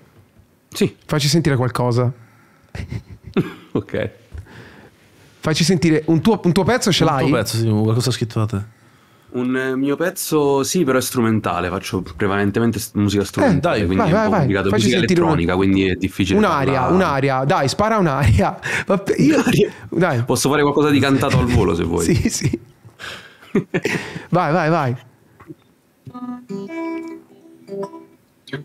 Questo è Gerudo Valle, però. Avvicinati, non sento niente. avvicinati un po'. Silenzio. Avvicini il microfono. Metti il microfono alla vicino. chitarra. Alle casse della chitarra. Metti- No, no, non alle casse. Vabbè, le- ai fori che ci sono. I got those by you and closer the most to you and what am I supposed to do? Questa è la chitarra pop. Take it away, I never had it anyway. Take it away, I never to be okay. Beh, sono un attimo. Questa è una pubblicità di scarpe di pelle. Tipo, ce la vedrei bene. Di solito, sì, Lumberjack. Tipo. Però, però dei. Però bella, eh, però molto di, eh, eh, la pubblicità di televisioni eh, cittadine, non, nazi- non Ci- nazionali. sì, Esatto, lunghissime con i fermi immagini che poi switchano così. Anni 80. Sì, sì, però- ma ancora ci sono quelle robe. Comunque sei molto bravo. E molto, Eh, soprattutto molto- una bella voce. Ecco, però la Eh, domanda sì. chiave che si fa sempre. Esatto. Vuoi fare il musicista qua in Italia? Sempre. non più, nel senso che musicista è un termine relativo, ci sono tanti lavori nella musica. Ok. Tipo, e cosa vorresti Però, fare? eh, Te vuoi fare il tuo album? Vuoi suonare alle feste? No, ma No, non zero, è una cosa che avevo in mente produttore, fonico, 18 ci sono tante cose, ma ne ho mannaia. molto di più. Quindi non, eh, non ho più, non ho più in mente quello, però mm, mi piacerebbe produrre, arrangiare, sono arrangiatore, sono diplomato in arrangiamento. Vedi. Quello che dissi. Arrangiamento. Ma scu- ok, quindi vorresti anche scrivere pezzi per altri volendo fare l'autore? Certo, Ah, voglia, sì, sì, ormai sì. Ormai. Ma sto- perché ormai lo stai già facendo, quindi? Sì, perché è complicato fare roba propria in Italia, se è difficile. Più che altro è una cosa che mi piace scrivere e arrangiare, è una, è una passione che ho sviluppato nel corso del- degli studi, quindi preferisco fare questo adesso. Dopo, dopo due studi hai detto che ti sei laureato in, in chitarra pop. Dopo Sì, questa cosa qua, esatto. come ti sei mosso? A livello anche solo di, boh, mi sono fatto uno studio, cosa hai pensato di fare? Sì, esatto, ho fatto uno studio, un home studio dove eh, ho cercato di racchiudere più cose possibili mm, per raccimolare qualche diciamo, entrata in più. so- mm, io facevo il videomaker prima, quindi ho, mm, ho- ho cercato di portare avanti anche quello per- perché nella musica è complicato guadagnare, soprattutto dopo il Covid è stato veramente una botta Eh, forte. Già, quindi- già, già. 70% in Anche dopo meno. l'11 settembre, tra l'altro. Eh sì, Cioè- eh sì, quello, eh sì, la il, cro- il crollo stata del muro di 2001. Berlino non va dimenticato. Bravo, quello però è un po' troppo vecchio. Esatto.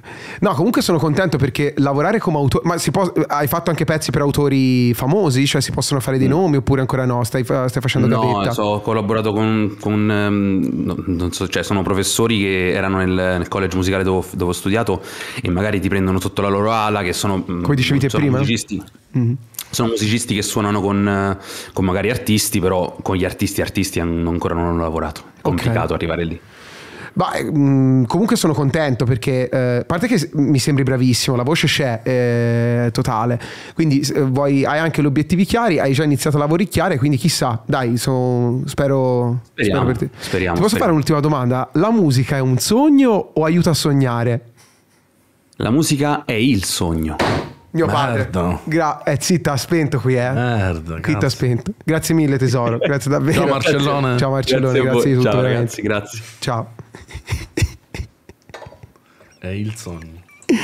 L'ha fregato qua, eh, ammetto. Eh, non, non c'era niente, potevo immaginare di meglio. Eh. Vabbè, andiamo, andiamo col prossimo, Marcellone. Qualcuno? Sì, sì, sicuramente sì. Tipo Dai, che- è... Oh, Figa. chi è questo? Ciao. Ciao, dimmi tutto. Ciao, sono Lorenzo, sono un fotografo. Oh, tutti l'abbiamo beccati. Animatore, stop motion, musicista, fotografo e il primo era... C'era il writer? Era, eh, no, era programmatore. Programmatore. Programmatore e writer, tutto, tutto. Dimmi Eh, tutto. vabbè, sì. Dimmi Io tutto. scatto a pellicola, scatto a pellicola e mi piace un botto, quindi un po' una ventata vintage, Bello. se così può dire. Oh, ok. E Non ti prendono per il culo a scuola per questo? A scuola, zio, ho 30 anni. Ah, ok. Eh, da quanto l'hai sviluppata questa passione per la fotografia? Sviluppata, c'era il gioco di parole. Complimenti. allora, per la fotografia da quando ne ho 19 ho cominciato a farla in digitale, però poi la mega rapidità del digitale non mi lasciava mai soddisfatto. Cioè io facevo 300 foto, non me ne piaceva neanche una Cavolo. e poi piano piano ho Marco è colpito da che questa cosa. C'era la possibilità di scattare a pellicola e rallenti per forza perché hai un numero limitato di Eh. esposizioni e puoi ragionare di più, Ok. puoi stare in contatto col soggetto e certo. No, più che altro la No. domanda sorge spontanea. Come mai hai deciso di passare alla pellicola? Cioè, cos'è che ti ha affascinato? Il fascino vintage oppure... Oppure... appena L'ha appena detto. Come l'ho appena detto? Sì, che si scocciava. No, in realtà, in realtà parzialmente. Non Ma solo non credo che sia solo vintage. perché non voleva eliminare, cioè perché sennò doveva eliminare tutte Ora le è, ge- foto. ora è gentile, trova altri motivi. Dettaglia, dettaglia di più, Lorenzone. Praticamente mi, è- mi piace perché, detto, perché rallento e perché, non lo so, mi dà una, proprio una vibe diversa, mi fa connettere col soggetto, sostanzialmente. Vedi che c'era altro, Non Dio è- madonna, era quello Ma- che volevo sentire, perché si connette col soggetto. Cosa fai dopo con le foto, con le foto così analogiche? Come, Cosa vuol come, dire? ne- come sviluppi Tipo le appendi il nella tuo stanza, lavoro? Allora, gente le, le come ci lavori con queste foto? Praticamente vanno sviluppate, ovviamente. sembrava Riccardo, che hai dico, cosa il ci fai, negativo- Una volta che hai il negativo lo puoi scansionare tranquillamente e convertirlo in un file digitale senza alcun problema. Ah, ok. E puoi anche stamparlo chiaramente come si faceva in camera oscura e tutto quanto, però dovresti avere una camera oscura. A è livello lavorativo, come, cioè, le tue foto avranno un- una qualità particolare, nel senso è riconoscibile il fatto che sono eh, analogiche. Diciamo sì, perché la- paradossalmente la differenza è che la fotografia digitale spacca il pixel, nel senso se metti a fuoco una macchina digitale tu non sbagli la messa a fuoco. Con quella analogica è un po' più soft, è un po' più Certo. mh, perfettibile ed è più simile all'occhio umano, perché molte volte capita che non si sia perfettamente a fuoco su un soggetto e secondo me quell'imperfezione, ma non voglio fare il filosofo però, No, no, quell'imperfezione bello, gli bello. dà un gusto diverso. Ah. Ma scusa, quali sono i tuoi soggetti preferiti? Cioè, cosa, cosa ami fotografare? Le In persone, come- città? O boh, No, a me so. piace moltissimo la ritrattistica. È da un po' che sto provando a muovermi anche in altro perché boh, sento di voler sperimentare. Però faccio sempre ritratti perché mi piacciono le storie delle persone. La cosa che dicevo prima di connettermi col soggetto è anche fico quando, per esempio, chiedo mh, foto agli sconosciuti, mi capita. eh, e gli domando magari se hanno voglia di fare quattro chiacchiere, gli spiego perché mi ha attratto la loro persona in quel Bello. momento e gli- dico posso ritrarti se ti fa piacere, se mi dici di no non lo Mhm. È faccio. diventato anche, ho visto un, un trend su TikTok questa roba qua. Sì. Eh, di fermare le Sì. persone. eh, mi colpisci, posso farti un video, posso farti delle Hai, foto. tro- hai trovato, hai trovato da far bene facendo così? Ma in realtà ho trovato un, un paio di vaffanculo li ho trovati tranquillamente. No, problema. intendevo qualcosa di romantico, qualcosa magari. No, no, ho trovato un sacco di storie fighe. Ad esempio, Ah, capita spesso che quando vado in viaggio con la mia ragazza, lei mi, se non vede una scena, Ecco, me la perché lui voleva io chiederti se si scopa con la fotografia. 100%. Ah, vai in giro, sei bella, ti faccio una foto, raccontami la tua storia. Ma scusa, ma è fantastico. Eh, no, cioè, però Eh. qua- infatti quando hai detto, ha detto eh no con la mia ragazza lui fa ah ecco eh, vedi Eh, eccoci. no, eh, buon per lui. cioè, Vabbè, no, per no no no Però la mia ragazza l'ho conosciuta una serata in cui ero fotografo. Vedi, vedi, eccoci qua vedi si torna sempre lì eh. sì sì sì Eccoci qua, sì, sì, sì. ma hai fatto No, anche eh. dei set fotografici su di lei nuda Eh, sì, no, no, no, no, no. Ah, Questo- no. Vabbè, oddio, oddio, in realtà, vabbè, insomma, Eh, no, eccoci qua. alle foto gliele ho fatte sicuramente. Il problema è che eh, spesso è difficile anche. Ci vuoi dire l'Instagram sul- della tua ragazza? dai ma che vuol dire no questa è andato un Ma po' si scherza. sempre alla base alla base e, va bene comunque sei soddisfatto quindi stai lavorando col tuo lavoro cioè col In tuo- con la fotografia Di lavoro, di lavoro faccio il social media manager, però per un'azienda di fotografia analogica, quindi ho un È po' messo insieme le campo. due cose. Poi provo a farmi vedere anche al lato, nel senso che Instagram lo curo molto, ho un piccolissimo canale YouTube che sto portando avanti conciliando conciliandolo con una vita lavorativa continua, quindi ci si prova, a divertirmi mi sto divertendo. Beh, infatti ti sento entusiasta. Sì, sì, Ci puoi dire il tuo Instagram così mm, se ti vogliono seguire, posti le tue foto su Instagram, credo, no? Sì, sì, sì, certo, Allora, certo, è un account solo, quasi solo di fotografia. Dai, dici un po' come si Eh, chiama. L'account è Shoot It and See, scritto Shot It and See in inglese. Ok, semplice, dai. Fotografalo e guardalo. Se no, Sì. se, se cercate nome e cognome, Lorenzo Martinoia, mi trovate. Lorenzo, scusami? Martinoia. Martinoia, Martinoia. ok. Grazie mille Lorenzo, figo. Grazie a voi, in bocca al lupo per. Buona tutto. serata. Prez, vai. Ciao.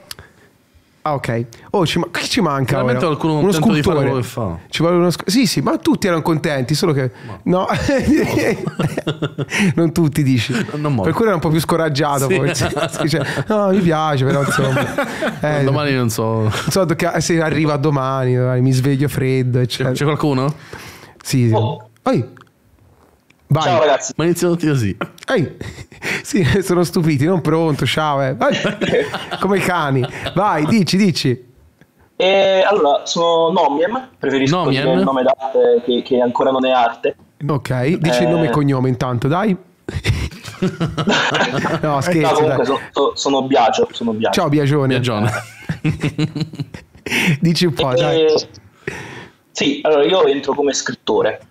Ecco, Mancava, mancava lo mancava, eh? scrittore. Bello, bravo. Oh. Sì. Allora, lo scrittore. Eh, noi, mh, Dario, avevamo anche già parlato, però... sì, certo, eh, ricordo perfettamente.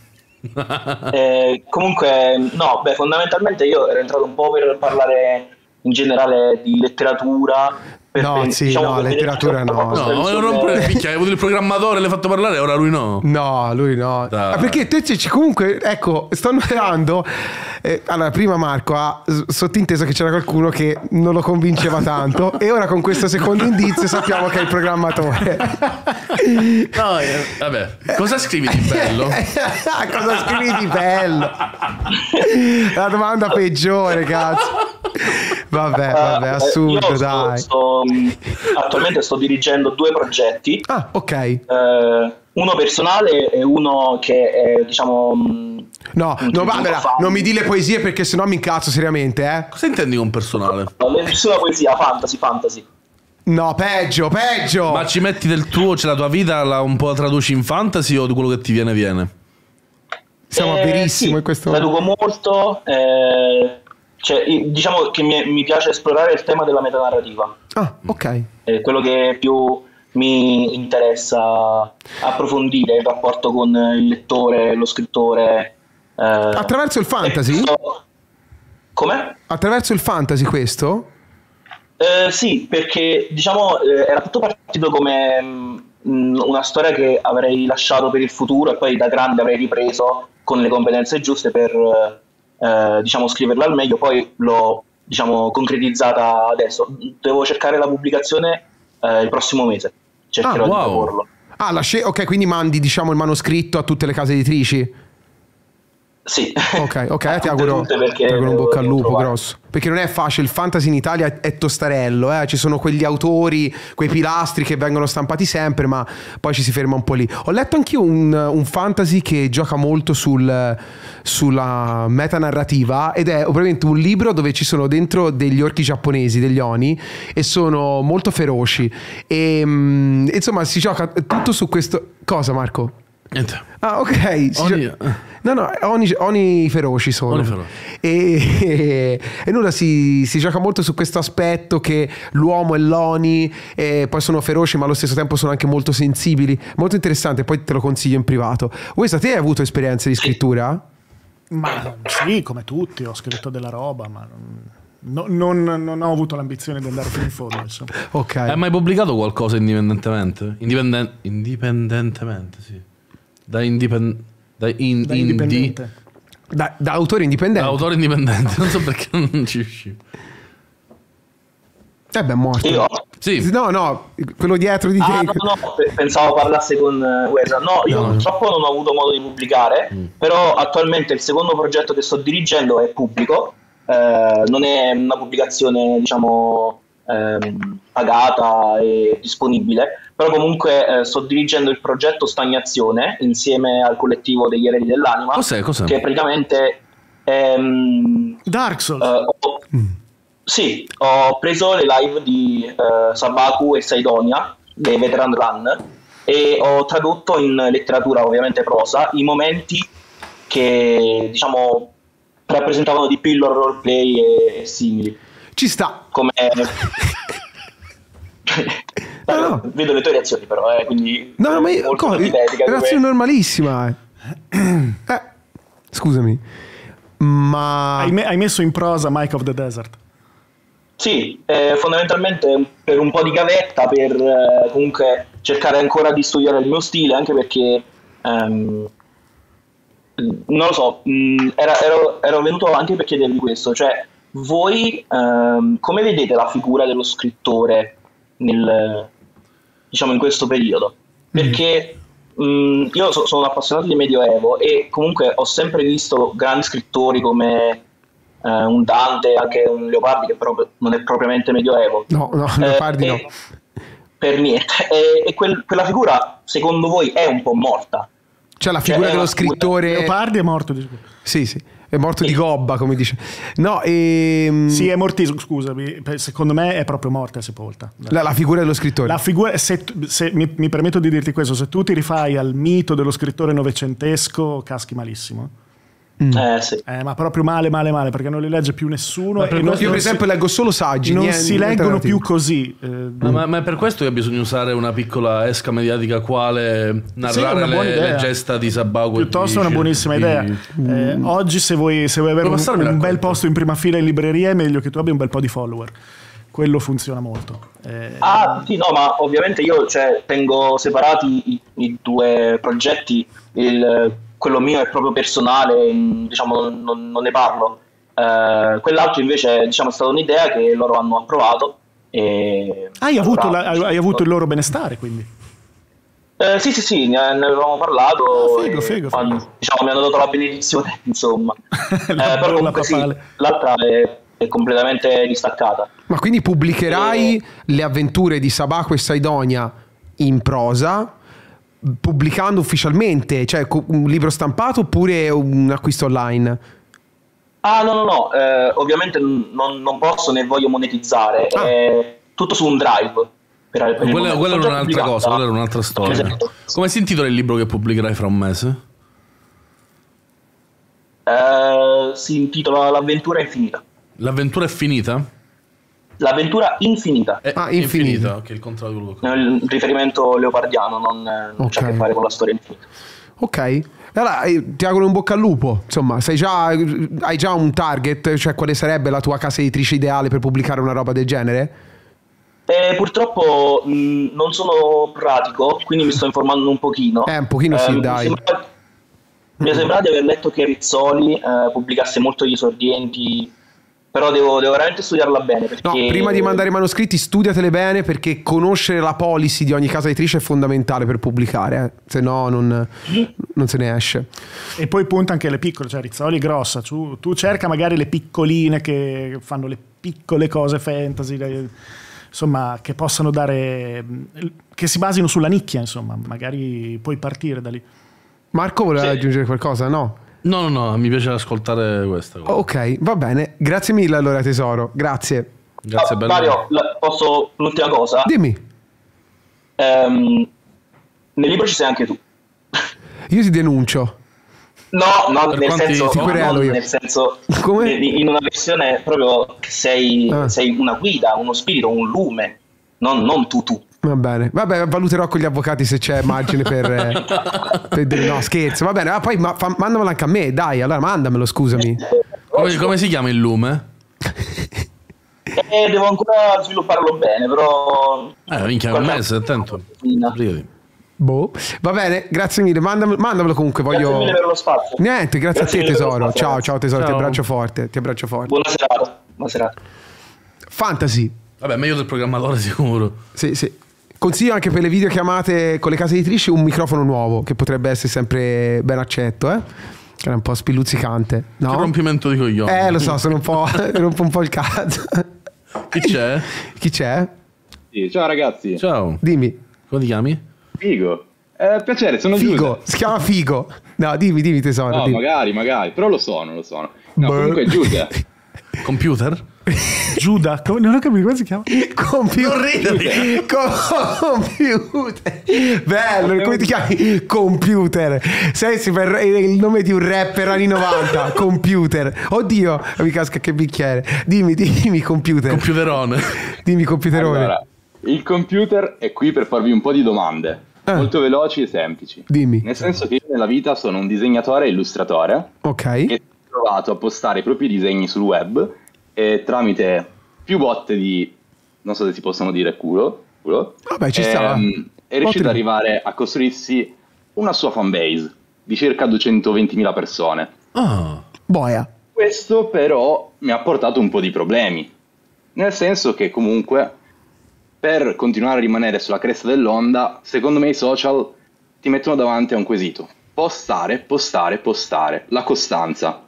Quindi mi sono iniziato a porre un po' di problemi sull'ambito creativo, nel senso io voglio mantenere una qualità alta o comunque presunta tale per me. Tolto quindi non scomodiamo Canigal Inverti dove per lui solo Dio è creativo, o comunque la stampa dove magari intervistandomi mi hanno presentato come Giuseppe, il ragazzo creativo e io ho risposto come un beh, non oggi, perché secondo me la creatività è un po' come una lampadina che si accende e si spegne ed è a me dal mio punto di vista impossibile mantenerla sempre Quindi, accesa. quindi sei un po' contro i ritmi incessanti dei social che ti obbligano a postare tutti i giorni per aumentare la tua fanbase o mantenerla comunque. Esatto, quindi secondo Ok. voi si può essere creativi ogni giorno e soprattutto Mm. la creatività, secondo voi, è un qualcosa che si può notare da quale elemento? Perché io per esempio ho notato come in un anno sono stato contattato magari da eh, case editrici, eh, altri, altri che lavorano nel settore, pur pubblicando magari le stesse cose che postavo un anno fa. E quindi in quel caso sono stato etichettato come una persona creativa. Mm. Allora Ma io, prima no. io boh, allora senti, per me eh, la creatività può esserci ogni giorno, Eh, però io tutti i giorni sono a contatto con persone che in un certo senso monitoro, comunque consiglio, eccetera. Quindi diciamo che ci sono tanti creativi con me che eh, fanno roba, disegnano, eccetera. Quindi io sono stimolato sempre a loro, io stimolo loro. Quindi ogni giorno vivo a contatto con la creatività. Però questo è un discorso diverso perché fare una canzone al giorno, fare un disegno al giorno, fare un video al giorno, penso che possa essere un po' alienante. A un certo punto lo fai quasi a macchinetta, non è più il prodotto. Infatti ti aspetti tanto tra un video e l'altro, Marco, no? Infatti io avrei risposto esattamente come stai dicendo tu, cioè dipende intanto dall'arte che fai e da come sei tu. Cioè io posso fare un video al giorno, ma e mi piacerebbe anche, ma a me, piace di più eh, raccimolare info proprio di vita di- nel corso di anche mezzo anno e poi fare un video che è nella, che è nella diretta traduzione. Per te invece... beh? Non lo so, magari potrebbe, come fai te, potrebbe dotarsi di un team e magari avere più creativi sotto il suo brand oppure Mm. mettere dei work Dipende in da un progress. sacco di cose. Nel senso, se tu sei un. Ma lo fanno in tantissimi su Instagram. Una, una sorta di factory. Tan- sì, oppure eh, fai work in progress che sono con te. Cioè, magari tu posti ogni giorno, ma l'opera vera e propria esce una volta alla settimana. Magari c'è il percorso che porta verso quell'opera, lo condividi. O... lo Oppure so. puoi creare un personaggio di te stesso e quel personaggio occupa il vuoto tra Ok. una- un'opera. Sono molti, molti trucchi per star dietro al, al ritmo della pubblicazione giornaliera, che anche per me è, è, è bru- cioè, Eh sì. è, è un compromesso tremendo per un creativo. Io forse con la Factory sarebbe ancora più alienante. Mica sono nano in questa inquadratura, meglio così. Eh, sarebbe ancora più alienante eh, perché la Factory ti snatura ancora di più perché non sei più dietro alla Cos'è tua Factory? È tipo un team di persone che si occupano dei tuoi personaggi. Ah. Tipo i Simpson, no? A un certo punto McGroening aveva mh, inventato la famiglia Simpson, lo spirito dei personaggi e tutto, e poi un team di sceneggiatori, registi e tutto creava le serie dei Simpson. Poi ovviamente c'era la supervisione e tutto, però la supervisione a volte non basta, a volte la devi fare te in prima persona, capito? Ma scusa, te proprio non hai mai pensato di prenderti dei tempi, delle pause per vedere che effetto ti fa, che effetto fa su quello che disegni te? Assolutamente sì. E cosa è successo? Nel momento in cui ho preso delle pause, sicuramente a livello qualitativo, ma anche a livello di stato mentale, me la sono vissuta molto molto meglio. Ah, eh. Tuttavia, sono cascato un po' nella trappola dei social, nel senso che comunque eh, quei numeri ho visto come erano calati da un giorno all'altro, pur ripostando magari qualitativamente prodotti, secondo me, dal mio punto di vista, molto molto migliori, e poi io lì banalmente me ne sono fregato perché lo faccio perché mi piace pubblicare quei disegni, perché mi piace disegnare, perché comunque, però dal punto di vista lavorativo l'ho visto come un impatto negativo, diciamo. Ok, quindi sei tornato ai ritmi quotidiani. Sì, diciamo di sì. Ok. Minchia, che inculata, non credevo fosse così. Ehm, Mi viene in mente, no- non so tu che cosa fai, a che livello di complessità, ma mi viene in mente Sio. Sio è uno che... Io Lui- penso, penso che lui lavori di archivio, non ne sono sicuro, però lui ogni giorno posta una nuova striscia. sì. Eh, Ti però è, è abbastanza asciutta da... Fa anche dei, dei blocconi ogni tanto, sì, che, che gli occupano una settimana intera. Eh, esatto, esatto, Eh, ma immaginavo archivi, sì. Come video, lui registra la voce, basta un animatore. Se non errato. Sì, sì, sì. Mm. E quindi co- co- te sei un bivio, sei qui per chiederci un consiglio oppure hai già preso una scelta e sei qui per una Guarda- conferma? In verità io volevo sentire la vostra su questo fattore della creatività Ok. e se anche voi in tempi appunto non sospetti, quando magari eravate davanti a un pochettino di fama, perché letteralmente TikTok, come questi social, ti esplodono in mano e tu non sai come gestirla da un giorno all'altro se non sei, se non sei nessuno letteralmente. E quindi voi, se i primi giorni avete un po'... ecco, avete quel... Non so, Di lei, quel timore del dover postare tutti i giorni, dover esserci, mantenere la presenza dei numeri, ve ne siete fregati. Eh, più, eh, più aspetti, più è difficile tornare. Questa è una regola che ho imparato veramente a mie spese. È sempre così. Ehm, quando ti- il problema di internet è che ancora non c'è un tutorial su come gestire la fama quando, come detto tu, ti esplode in mano. Eh, però a mio parere, cioè io, io c'è stato un periodo dove ho postato tanto solamente perché mi era arrivato tanto di fama. Eh, ed è anche interessante vedere come si amorfa la tua arte, ehm, dipendentemente da cosa ti è successo eh, online. Ma devi sempre tenere presente come la gestisci tu, cioè dipende veramente da come tu traduci quello che ti arriva e che quindi trasformi in, ehm, in arte. E questa è veramente la cosa più importante. Dovrebbe essere un po'. Mm, dovrebbero essere un po' le fondamenta eh, su cui basare poi la tua carriera e il tuo ritmo. Perché quella è la cosa più importante, secondo me, un po' sballare i ritmi e sballare la tua arte, ma anche perché poi magari vieni preso da fattori quali la costanza forzata di internet, poi la guardi e, non- e ti fa un po' schifo da sola, la tua stessa cosa. Questo è pericoloso, dovresti stare attento e dovresti proprio pensare a quello che è il tuo ritmo. Secondo me è molto unico di tutti quanti, perché anche come dicevo Esa prima, dipende da tante cose, da, da cosa fai, da- dallo stile, da che persona sei tu, che sensibilità hai, che cosa stai postando, qual è il tuo obiettivo, mille cose. Io eh, credo che lavorando su Twitch ogni giorno, quindi facendo live ogni giorno, ehm, io cerco di eh, far venire il mio pubblico ogni giorno per non perdersi quello che sto facendo. Quindi martedì ospite sempre diverso, un ospite sempre figo di un mondo diverso, mercoledì un fumetto sempre diverso. un- Però ovviamente la live eccezionale, quella da 10 su 10, ti arriva una volta ogni due settimane, ogni mese. Quindi secondo me potresti lavorare così, potresti lavorare con ok, sono cosciente che devo postare tutti i giorni, non tutte le mie vignette saranno brillanti al 100%, però quelle 10 vignette al mese, 5 vignette al mese, bomba o, pagine a fumetti bomba, le faccio sicuramente perché comunque su quelle magari concentro di più le mie forze, mentre con il resto faccio le altre per andare a tamponare il bisogno social che ho, che ha la mia casa editrice. Questo è forse l'altro consiglio che posso darti. Ecco. Morto, benissimo. No, ok, grande. Ah, ok, ragazzi. ok, no, stavi- vi ringrazio e stavi. Sicuramente anche mia mamma vi ringrazierà. Perché mamma? Ma perché è disperata, mi mi vede sempre lavorare qui. Ma quanti anni ha la mamma? Eh, la mamma ne ha 56. Eh, allora è per Wesa, dai. Comunque, dai. No. dai, comunque ti saluto tesoro mio, grazie allora. In bocca al lupo, complimenti, eh, complimenti perché comunque insomma il tuo successo ce l'hai, quindi va Grazie. buono. Ciao tesoro. Ciao, ciao, fortuna. ciao, ciao, ciao. Sa che abbiamo tempo per l'ultimo. Poi abbiamo fatto. Speriamo sia qual- qualcuno interessante. Beh, va sempre col programmatore, ragazzi. Qua è... Non è il programmatore. Ah, ok. Era quest'ultimo, no? No, no, no, no, lui è un grande.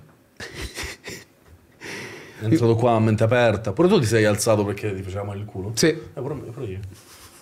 No, più che altro i piedi. No, non ti faccio entrare, Francesco. Chi Eh, c'è? L'ultimo, dai. No, lo scrittore. No, lo scrittore era. Lo scrittore, boh, io sono curioso di leggere che- la mia parte lume. Potrebbe essere Ma interessante. io non ho capito se tu eri nel libro con Sabaku o nell'altro. No, no, no, nell'altro lo sta per essere In quell'altro. A me avrebbe molto infastidito quella cosa. Perché? Perché... Oh, Aspetta un attimo che finiamo questo discorso tesoro perché... No, no, fermiamolo. No, dai, dimmi, dimmi. Chi è? Dai, va bene, dici. Ciao. Ciao, eh, buonasera, ciao Wesa, ciao Dario, ciao, ma... Eh, ah, Dio, ciao, ciao Croix. Eccomi. Qua, stai ribrandizzando, era Marco Merrino, eh? Eh, Ciao Marco, sono un po' agitato, scusate. No. non avevo capito se mi avevano sbattuto fuori perché non c'era più tempo o se... No, non abbiamo tempo. Sei, Ma sei sei l'ultimo. italiano? Sei l'ultimo. No, albanese ha detto. Eh, sì, no, Sal- non è vero. Sì, no. Ehm, Boh, vabbè, non ho capito nulla. Vai, andiamo, andiamo. Buonasera, eh, sono un animatore. Ciao. Ciao. Ah, non è... Ok, perfetto. Sono, sono un animatore 2D. ehm, ho lavorato da un anno e mezzo in un piccolo studio a Milano. Eh, naturalmente il disegno, l'arte, l'animazione eh, sono mm, una mia passione. ehm, ma non era di questo che volevo parlarvi eh, questa sera e volevo discutere con voi, ma era sul tema dell'arte eh, con gli animali antropomorfi e dell'arte eh, furry. Dio povero però ragazzi, cioè, come i furri. Ma i furri che scopano o normali? Ma che cosa? Perché pensi... No, dimmi, dimmi, abile, vai fino in fondo, i furri che scopano no, no, devi- no, vai alla superficie. In fondo scopano, alla superficie vivono. Sono Non è detto, magari è una cosa alla Zootropolis. No, fai parlare lui. Voglio chiedere a tutti e tre cosa immaginano quando dico la parola furry, perché se Io immaginate... penso a un lupo col gli- cazzo gigante che sventra un coniglio. Ma il furry non era un gioco. Ma che dici? No, Vabbè, fu, quella era vabbè, Furby, gioco, tu- Furby era. Ah, scusate, sono vecchio. I furbi erano furri. Di base io vorrei eh, aiutarvi a, a prendere in considerazione eh, questo mondo. No, io non ce Eh, la faccio. No, meglio depilata. Meglio depilata. Vabbè, te- parla con Marco, dai, Marco. No, no, Eh, volevo- Dario, ti do un attimo di contesto. Io sono eh, passato anche, tu non ti ricordi naturalmente, ma sono passato anche eh, al Games Week eh, a proporti questo tema sulla storia del fandom e, e tu eri schifato come adesso. No, ma non è che sono schifato, devo solamente. No, aspetta, aspetta, ti- ti faccio parlare, però devo capire solo una cosa. Si parla di porno, erotismo. No, ma chi l'ha detto? Voglio capire solo Furry questo. non è porno, Non ho non detto necessariamente. non è- non Mi necessariamente. definite, pu- mi definite furry, scusate. Furry? Eh, Vaporeon antropomorfo che ciuccia i cazzi. Però questo è il furry Ma no, porno. Ma eh. non è vero. Ma che cazzo è un vapore? Ma non è vero Come che cazzo è un Vaporeon? Ascoltami, no, fammi- perché non ha ancora parlato lui, non ha risposto. Si parla di furri normali tipo Zootropolis, eh, che cazzo ne so io, furri, eh, il fiuto di Sherlock Vaporeon. Holmes, eh, eh, oppure del porno. Ma è un cazzo di Pokémon, Dio. Eh, Entrambi eh, fanno parte eh, della categoria, ma nel senso che furry significa fan degli animali antropomorfi in no, sì, generale. questo lo so. È No, come eh, no, dire eh, otaku, mh, per usare un termine anche sbagliato, ma mh, come dire fan degli anime e dei manga, eh, furry è il fan degli animali antropomorfi in generale. Quindi Sì, quelli però che lo usi come paraculata, sì, per poi vederti le pecore sventrate dai cazzi, di la verità. Ma allora, e tu Non non, stai- guardi gli hentai? È la stessa cosa. Non è la stessa cosa! È un po'. Io andrò Ehi. fino in fondo in questo discorso. Va bene, ehm, vai, dimmi, dimmi. Parlando del fatto che secondo me sono assolutamente sullo stesso piano e io sono sempre Non guardare i furri sul cellulare, che Te poi... consiglio uno qua. sono sempre stranito quando eh, mh, nelle live eh, è successo diverse volte eh, si usa il termine furry soltanto per fare una battuta e non, si- non lo si mette mai sullo stesso piano eh, dell'arte invece eh, e del disegno ehm, stile eh, anime o Allora, io posso. Allora, io su questo sono d'accordo con te. Allora, io non, Non sono inquadrato. inquadrato. No, no, no. Attento, attento, attento. Ho tolto, tolto, Ok, ok. tolto, tolto. Io, io sono d'accordo con te da, da questo punto di vista perché ci sono eh, prodotti riconducibili a- al furry, vedi appunto il fiuto di Sherlock Holmes, vedi eh, appunto Zootropolis, vi vengono gli, gli esempi mainstream, ma c'è anche quel manga, non so, lap- c'è un lapsus tremendo. eh, Beastars. Beastars è uguale, que- quelle robe lì, ok. Il problema è che molti di voi fanno questo discorso per rompere i coglioni a chi vi prende per il culo se eh, facciamo delle battute sul fatto che vi segate su... Sì, ma tu è stata la prima cosa che hai detto. Perché lo conosco, lui è venuto, me lo ricorda la Games Week. Perché lui vuole vuole, vuole farsi le seghe su un cigno che in realtà ha il cazzo. Cioè, E fagli fare le seghe su quello che ma vuole. infatti va benissimo. Solo Ma io non. Dario, il punto è questo: tu non ehm, mi spiace che pensi che io abbia un altro fine. Il mio fine non è giustificare quello che faccio. Beh, Come convincermi, io trovo non mi che- segherò mai su quelle Ma seghe. non è vero che vuole fare questo. non è questo il mio obiettivo. Il mio obiettivo è solo far riflettere sul fatto che ci sono un sacco di cose che hanno a che fare con la storia del fumetto in generale, Dimmi, con dimmi la storia allora. No, lo so, quello in lo so, generale, certo, certo. ma che sono, fanno parte del Furry, ma non parlo solo del- dei grandi esempi, ma parlo proprio mh, per esempio, mh, se si parla di eh, fumetto erotico eh, eh, o porno, Oma la gattina ballerina è un esempio che mh, di solito eh, si cita eh, quando si parla della storia. Chi? Oma la gattina ballerina Qual è, di Cat ma Dancer. qual è il punto? Non lo so. Io vi invito a dare un'occhiata. No, che lui, allora, te lo dico, il punto è che eh, i furi vengono presi per il culo per l'aspetto sessuale, no? Perché molte persone Sono gli dicono- hentai con gli animali. Sono gli hentai con gli animali, sì. Madonna, eh, quindi, ok. eh, eh, quindi c'è ironia su questo. Vabbè, uno si farà le seghe su No, quello che quello gli pare. certo, però eh, siamo liberi anche di farci ironia, no? Penso. beh, certo, Sì, speriamo. speriamo. Oh, questo sì. Eh, però lui dice, cazzo, purtroppo tutto l'aspetto ironico, satirico, diciamo così, del furry pornografico ha offuscato la storia dei furri nella storia dell'animazione e del fumetto. E io posso essere anche d'accordo. Ma lui con la storia dei furri nella storia dell'animazione intende che l'animazione diciamo ufficiale, eh, No, mainstream ha degli elementi da cui nasce il Quella- furry? No, quella che Ma lui non ha coinvolge- detto niente di questo. Non ha detto niente del genere lui Perché io sto, io sto scoprendo il sottotesto, come No, te col tu caffè. stai è lo stesso tu discorso. stai prevedendo qualcosa che lui non ha detto. No, no, lui ha- no, come? Non hai ascoltato bene? No, Lui, no, non l'ha lui detto. fa, fatto, no, io ho detto, ma ti segui sui furi? Lui fa, non voglio parlare di questo. È furbamente, perché... No, perché non vuole parlare di questo. Mm. Io ne parlo molto volentieri. Possiamo parlare, per esempio, di un artista incredibile che vi invito a cercare, Tabulei con la Y.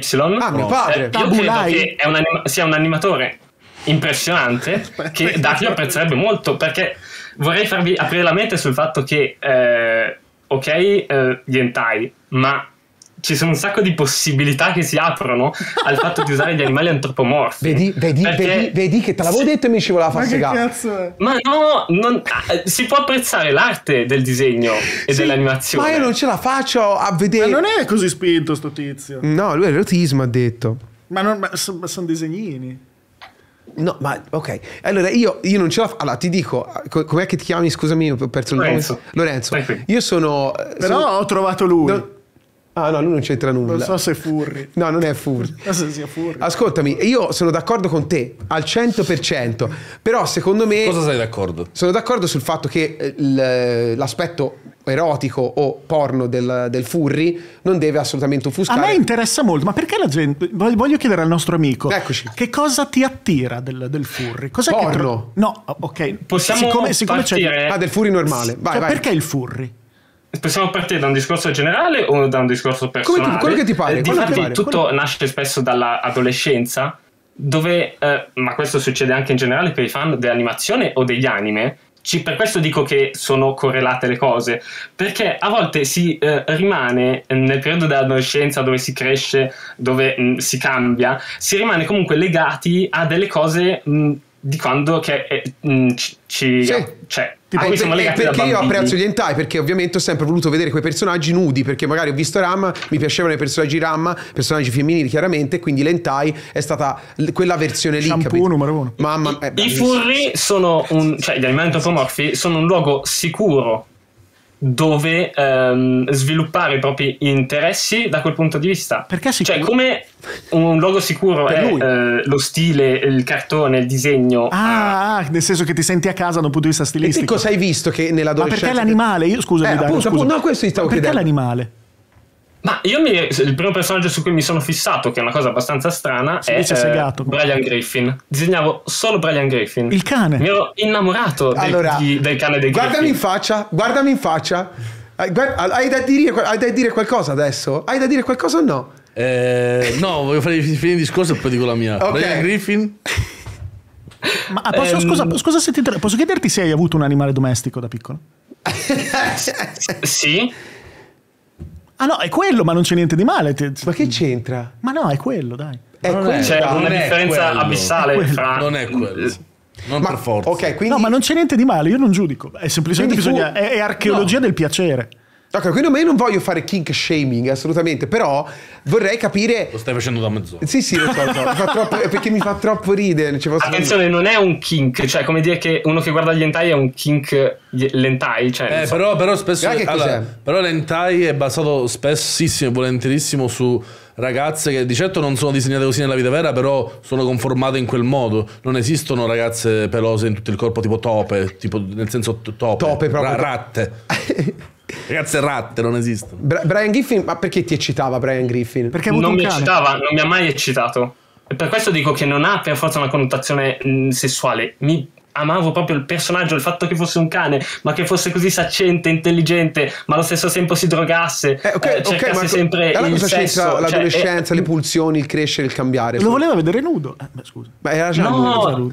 eh, Non ha- il non senso ha è che puoi eh, far puoi scoprire la sessualità in un ambiente sicuro, in un ambiente creativo. Però aspetta, aspetta, scoprire la sessualità? Ma tu stai No. cercando di nascondere il No, fatto che no, per no. le seghe. Cosa? Cioè, stai cercando di nascondere il fatto che il furia per farsi No, a me ora No, intriga, no, eh, no, io, so- io, io, Che non c'è niente di male, lo dico ma con- ogni con cosa, ogni cosa strana a me interessa perché mi, mi affascina. Soprattutto c'è gen- gente così convinta e i furri hanno fra la gente più convinta del mondo. Ehm, dico solamente che secondo me scoprire addirittura la sessualità in un ambiente sicuro, sicuramente è sicuro dal punto di vista che nessuno ti prende in giro se fai parte di un club, ovviamente, se fai parte di, una- di un fandom. Ma minchia, qualcosa di importante come sviluppare la propria, ehm, la propria sfera sessuale in un ambito dove esteticamente non ritroverai mai niente di simile nella vita vera, Eh, non pensi sia particolarmente pericoloso o potenzialmente pericoloso? No, era quello. La, la cosa più simile nella vita reale non può esprimere consenso. Eh, c'è, quindi c'è una sì. differenza enorme fra L'animale. la, mm, ehm, adesso mi viene il termine fra mm, l'immaginazione il, cioè qualcosa di completamente non reale di completamente slegato dalla realtà ed è questo il suo mm, bello che poi è la fantasia cioè sviluppare il- la propria eh, fantasia anche in quel senso Ok. Ehm, poi per quanto riguarda È una quello che perversione. dico riguardo alla propria sessualità anche nella vita vera, Sì. naturalmente non è quello, cioè non è che uno cerca nella realtà eh, di farsi un animale, Eh, ma Tranne il sardi. punto è ehm, perché ci- c'è una percentuale Come maggiore di persone queer, per esempio nei fan anche degli anime Ok. c'è una percentuale maggiore anche nei, nei fan degli animali antropomorfi. Perché? Qual è la domanda? essere- Qual è la domanda? La, la mia domanda è perché c'è una percentuale maggiore di persone eh, queer e per esempio anche per esempio se penso ai fan di Dario Moccia che naturalmente coincidono in parte con i fan dell'animazione giapponese e del fumetto Sì. c'è una percentuale maggiore mi sembra di vedere di persone n- non etero Sì, ma cosa c'entra con cani che scopano? Questo a me sfugge, capito? Cioè, ma, eh, allora, C'entra che se, eh, il- ehm, se hai dei pro- mm, se ehm, ci Dai. sono delle difficoltà nel Ok. comprendere e nell'accettare se stessi, anche Sì. a livello sessuale, la propria identità, sì. può aiutare a esprimere quella sessualità in un ambiente sicuro e decontestualizzato e immaginario come quello Ah, capito. con ho il disegno capito, e con ho l'arte. capito, Ho capito. Questo ho è sicuro, però qua si parla di un... uh, tu scopri il tuo kink e allora lo esprimi in quel mondo là, ma approcciarsi alla propria sessualità iniziando così io lo vedo ehm, potenzialmente dissociante e pericoloso. Allora, io provo a tradurre invece. Visto che sono state dette due cose diverse. In... Allora, io provo a tradurre. Te dici che eh, in adolescenza, eh, aven- mh, provando un grande fascino, ma un fascino non sessuale per Brian Griffin, quando sei cresciuto e quando hai sviluppato la tua sessualità, hai voluto rivedere quello che rivedevi in Brian Griffin in altri contesti, ovviamente più perversi, ok? E questa cosa qui, questa zona di comfort, ti ha aiutato tanto ad accettare la tua sessualità. Io sono l'eccezione che mh, conferma la regola, nel senso che non ho, eh, cioè, io non ho dovuto accettare la mia sessualità perché sono etero. E anche qui eh, Ah, ok. il fatto è questo: non, non è tutto per una sfera sessuale. Ah, ok, ok. Il- No, ma quell'altra cosa l'ho capita e sono d'accordo con te, te l'ho detto, stavo passando al resto. io, eh. Però possiamo cose sì. prendere, p- per esempio, mh, Tezuka. Sì, lui si ispirava alla Disney, queste Sì. cose, quel tipo di disegno, Sì. e poi è pieno di porno. È pieno. No, pieno E no, ha, fatto solamente alcuni esperimenti, ma non è che è pieno di porno. Ma pieno di Ehm. porno di- non suoi, dici? No, no, no, dico lui eh, ha disegnava arte erotica Sì, anche con gli animali però- antropomorfi. Ma chi è questo? Tezuka è il dio dei manga. Ma degli esperimenti ci sono stati anche in animazione, ha fatto gli esperimenti, però non è che facesse tutto, cioè fosse il suo argomento principale, il suo tema principale. Però sì, no, ma su questo sono d'accordo, eh. Sono d'accordo al 100%. Cioè, sul, sul fatto che eh, ci siano state cose altissime a livello artistico su- che possono essere ricondotte al furry. Sono d'accordo. Però eh, da qui a- all'aspetto pornografico furry, ecco, ci, ci- secondo me ci passa un treno. Posso fare, una domanda? d'accordo. Posso fare una domanda? Quali sono i confini del furry? Cioè lì tipo c'è, c'è uno slime, no? Sì. Uno slime è, un- è- è passibile di furry? No, furry, Bella devono, avere un, cazzo, devono so. avere un manto. Un Ah, manto cioè pe- proprio- ah, peloso. proprio- è proprio- è proprio ma furry. richiesto che sia peloso. giu- Giusto, Lorenzone? Eh, la discriminante è solo è un animale ha caratteristiche umane. Un animale cose, Ah, è un animale La pimpa, la furry. pimpa è furry? La pimpa io me la trombo. Anche, un, anche un animale estinto, tipo i dinosauri, possono essere furry. Bella questa sì. Assolutamente, assolutamente, Assolutamente. Basta dargli caratteristiche antropomorfe. Per esempio, il film di Don Bluth, eh, Alla ricerca della Valle Incantata. Bellissimo. Prodotto da PSP. Quindi Spielberg è, è, fu- è furry. Ma allora anch'io sono cresciuto. No, perché Furry è solo se ti identifichi come fan, naturalmente. Ma Cioè, come fai a vedere la ricerca della antropomorfi e non esserlo. identificarti? Cioè, è impossibile non identificarti. No, nel furry. Ah, nel furry. Eh sì, è complicato, eh. Va bene. Mi rendo conto. Chiudo con una cosa. Dimmi. eh, Però è interessante, è interessante, vista- eh. grazie perché è stato interessante. Dimmi, dimmi, dimmi comunque. È fighissimo dal punto di vista creativo perché le persone possono creare un proprio personaggio e, cosa che non succede quasi mai nella vita di tutti i giorni, eh, crei il tuo fursona, il tuo personaggio, il tuo avatar da usare su internet per la maggior parte, però poi vai a chiedere commissioni direttamente agli artisti per rappresentare il tuo personaggio in diversi eh, contesti, mh, come uno vuole. Beh, lo fanno anche su Ehm, Topolino, no? Con i personaggi, con i VIP, fanno le storie sui VIP e li paperizzano, li topolinizzano. No? Non so se ti Ass-. Assolutamente, assolutamente. Anche quella è una specie di mh, antropomorfi- Eh sì, vabbè, Sì, prendi, quello, eh, crei il, l'alter ego all'interno di un universo eh, di un personaggio, di una persona vera. Questo è fighissimo e è una cosa che non ho visto mai da nessun'altra parte, in nessun altro fandom. Questa ricerca anche del disegno, dell'arte e della committenza diretta con gli artisti, trovo che sia una cosa fighissima. Se vi interessa eh, la storia eh, del fandom, vi invito a vedere il documentario The Fandom eh, che trovate su YouTube. Sì, va bene. Ok, sì, magari qualcuno è interessato. Sdrumox sembra un po' un papero, no? È un pesce lui. Un pesce, Lui è dici. un pesce spada, spadino. Un bacione, grazie. Grazie a te tesoro, Allora, ti abbraccio grazie. forte. Ciao. Ciao. tesoro, ciao ciao ciao ciao. Intervento top. Intervento Dovete top. cercare il molto interessante dei furri, queste sono le cose più strane e assurde. Metti Sonic Fit, piedi. E ci sono Di immagini lui- di Sonic di lui che si lava le sdraiato. scarpe, sì. No, ma assurde sono. Si Ci lava vede, le c'è un amore dietro pazzesco. Va bene. E... Vabbè, io direi. Oh, Gesù. Eh sì, è bello, eh. Con le scarpe sudi, cioè con la suola sudicia. Sì, sì, C'è la po' di- suola, la, il la classico pianta. odore verde che esce. Sì, sì, sì. Vabbè. Ma, ma, ma, ma, oh, senti, va bene. Hai scoperto una nuova cosa Ho oggi. scoperto una. Pensa che io pensavo che parlassi di quei giochini del cazzo. No, no, no, no. invece. Furbi, È, furbi. tutta, è tutta sta bazza.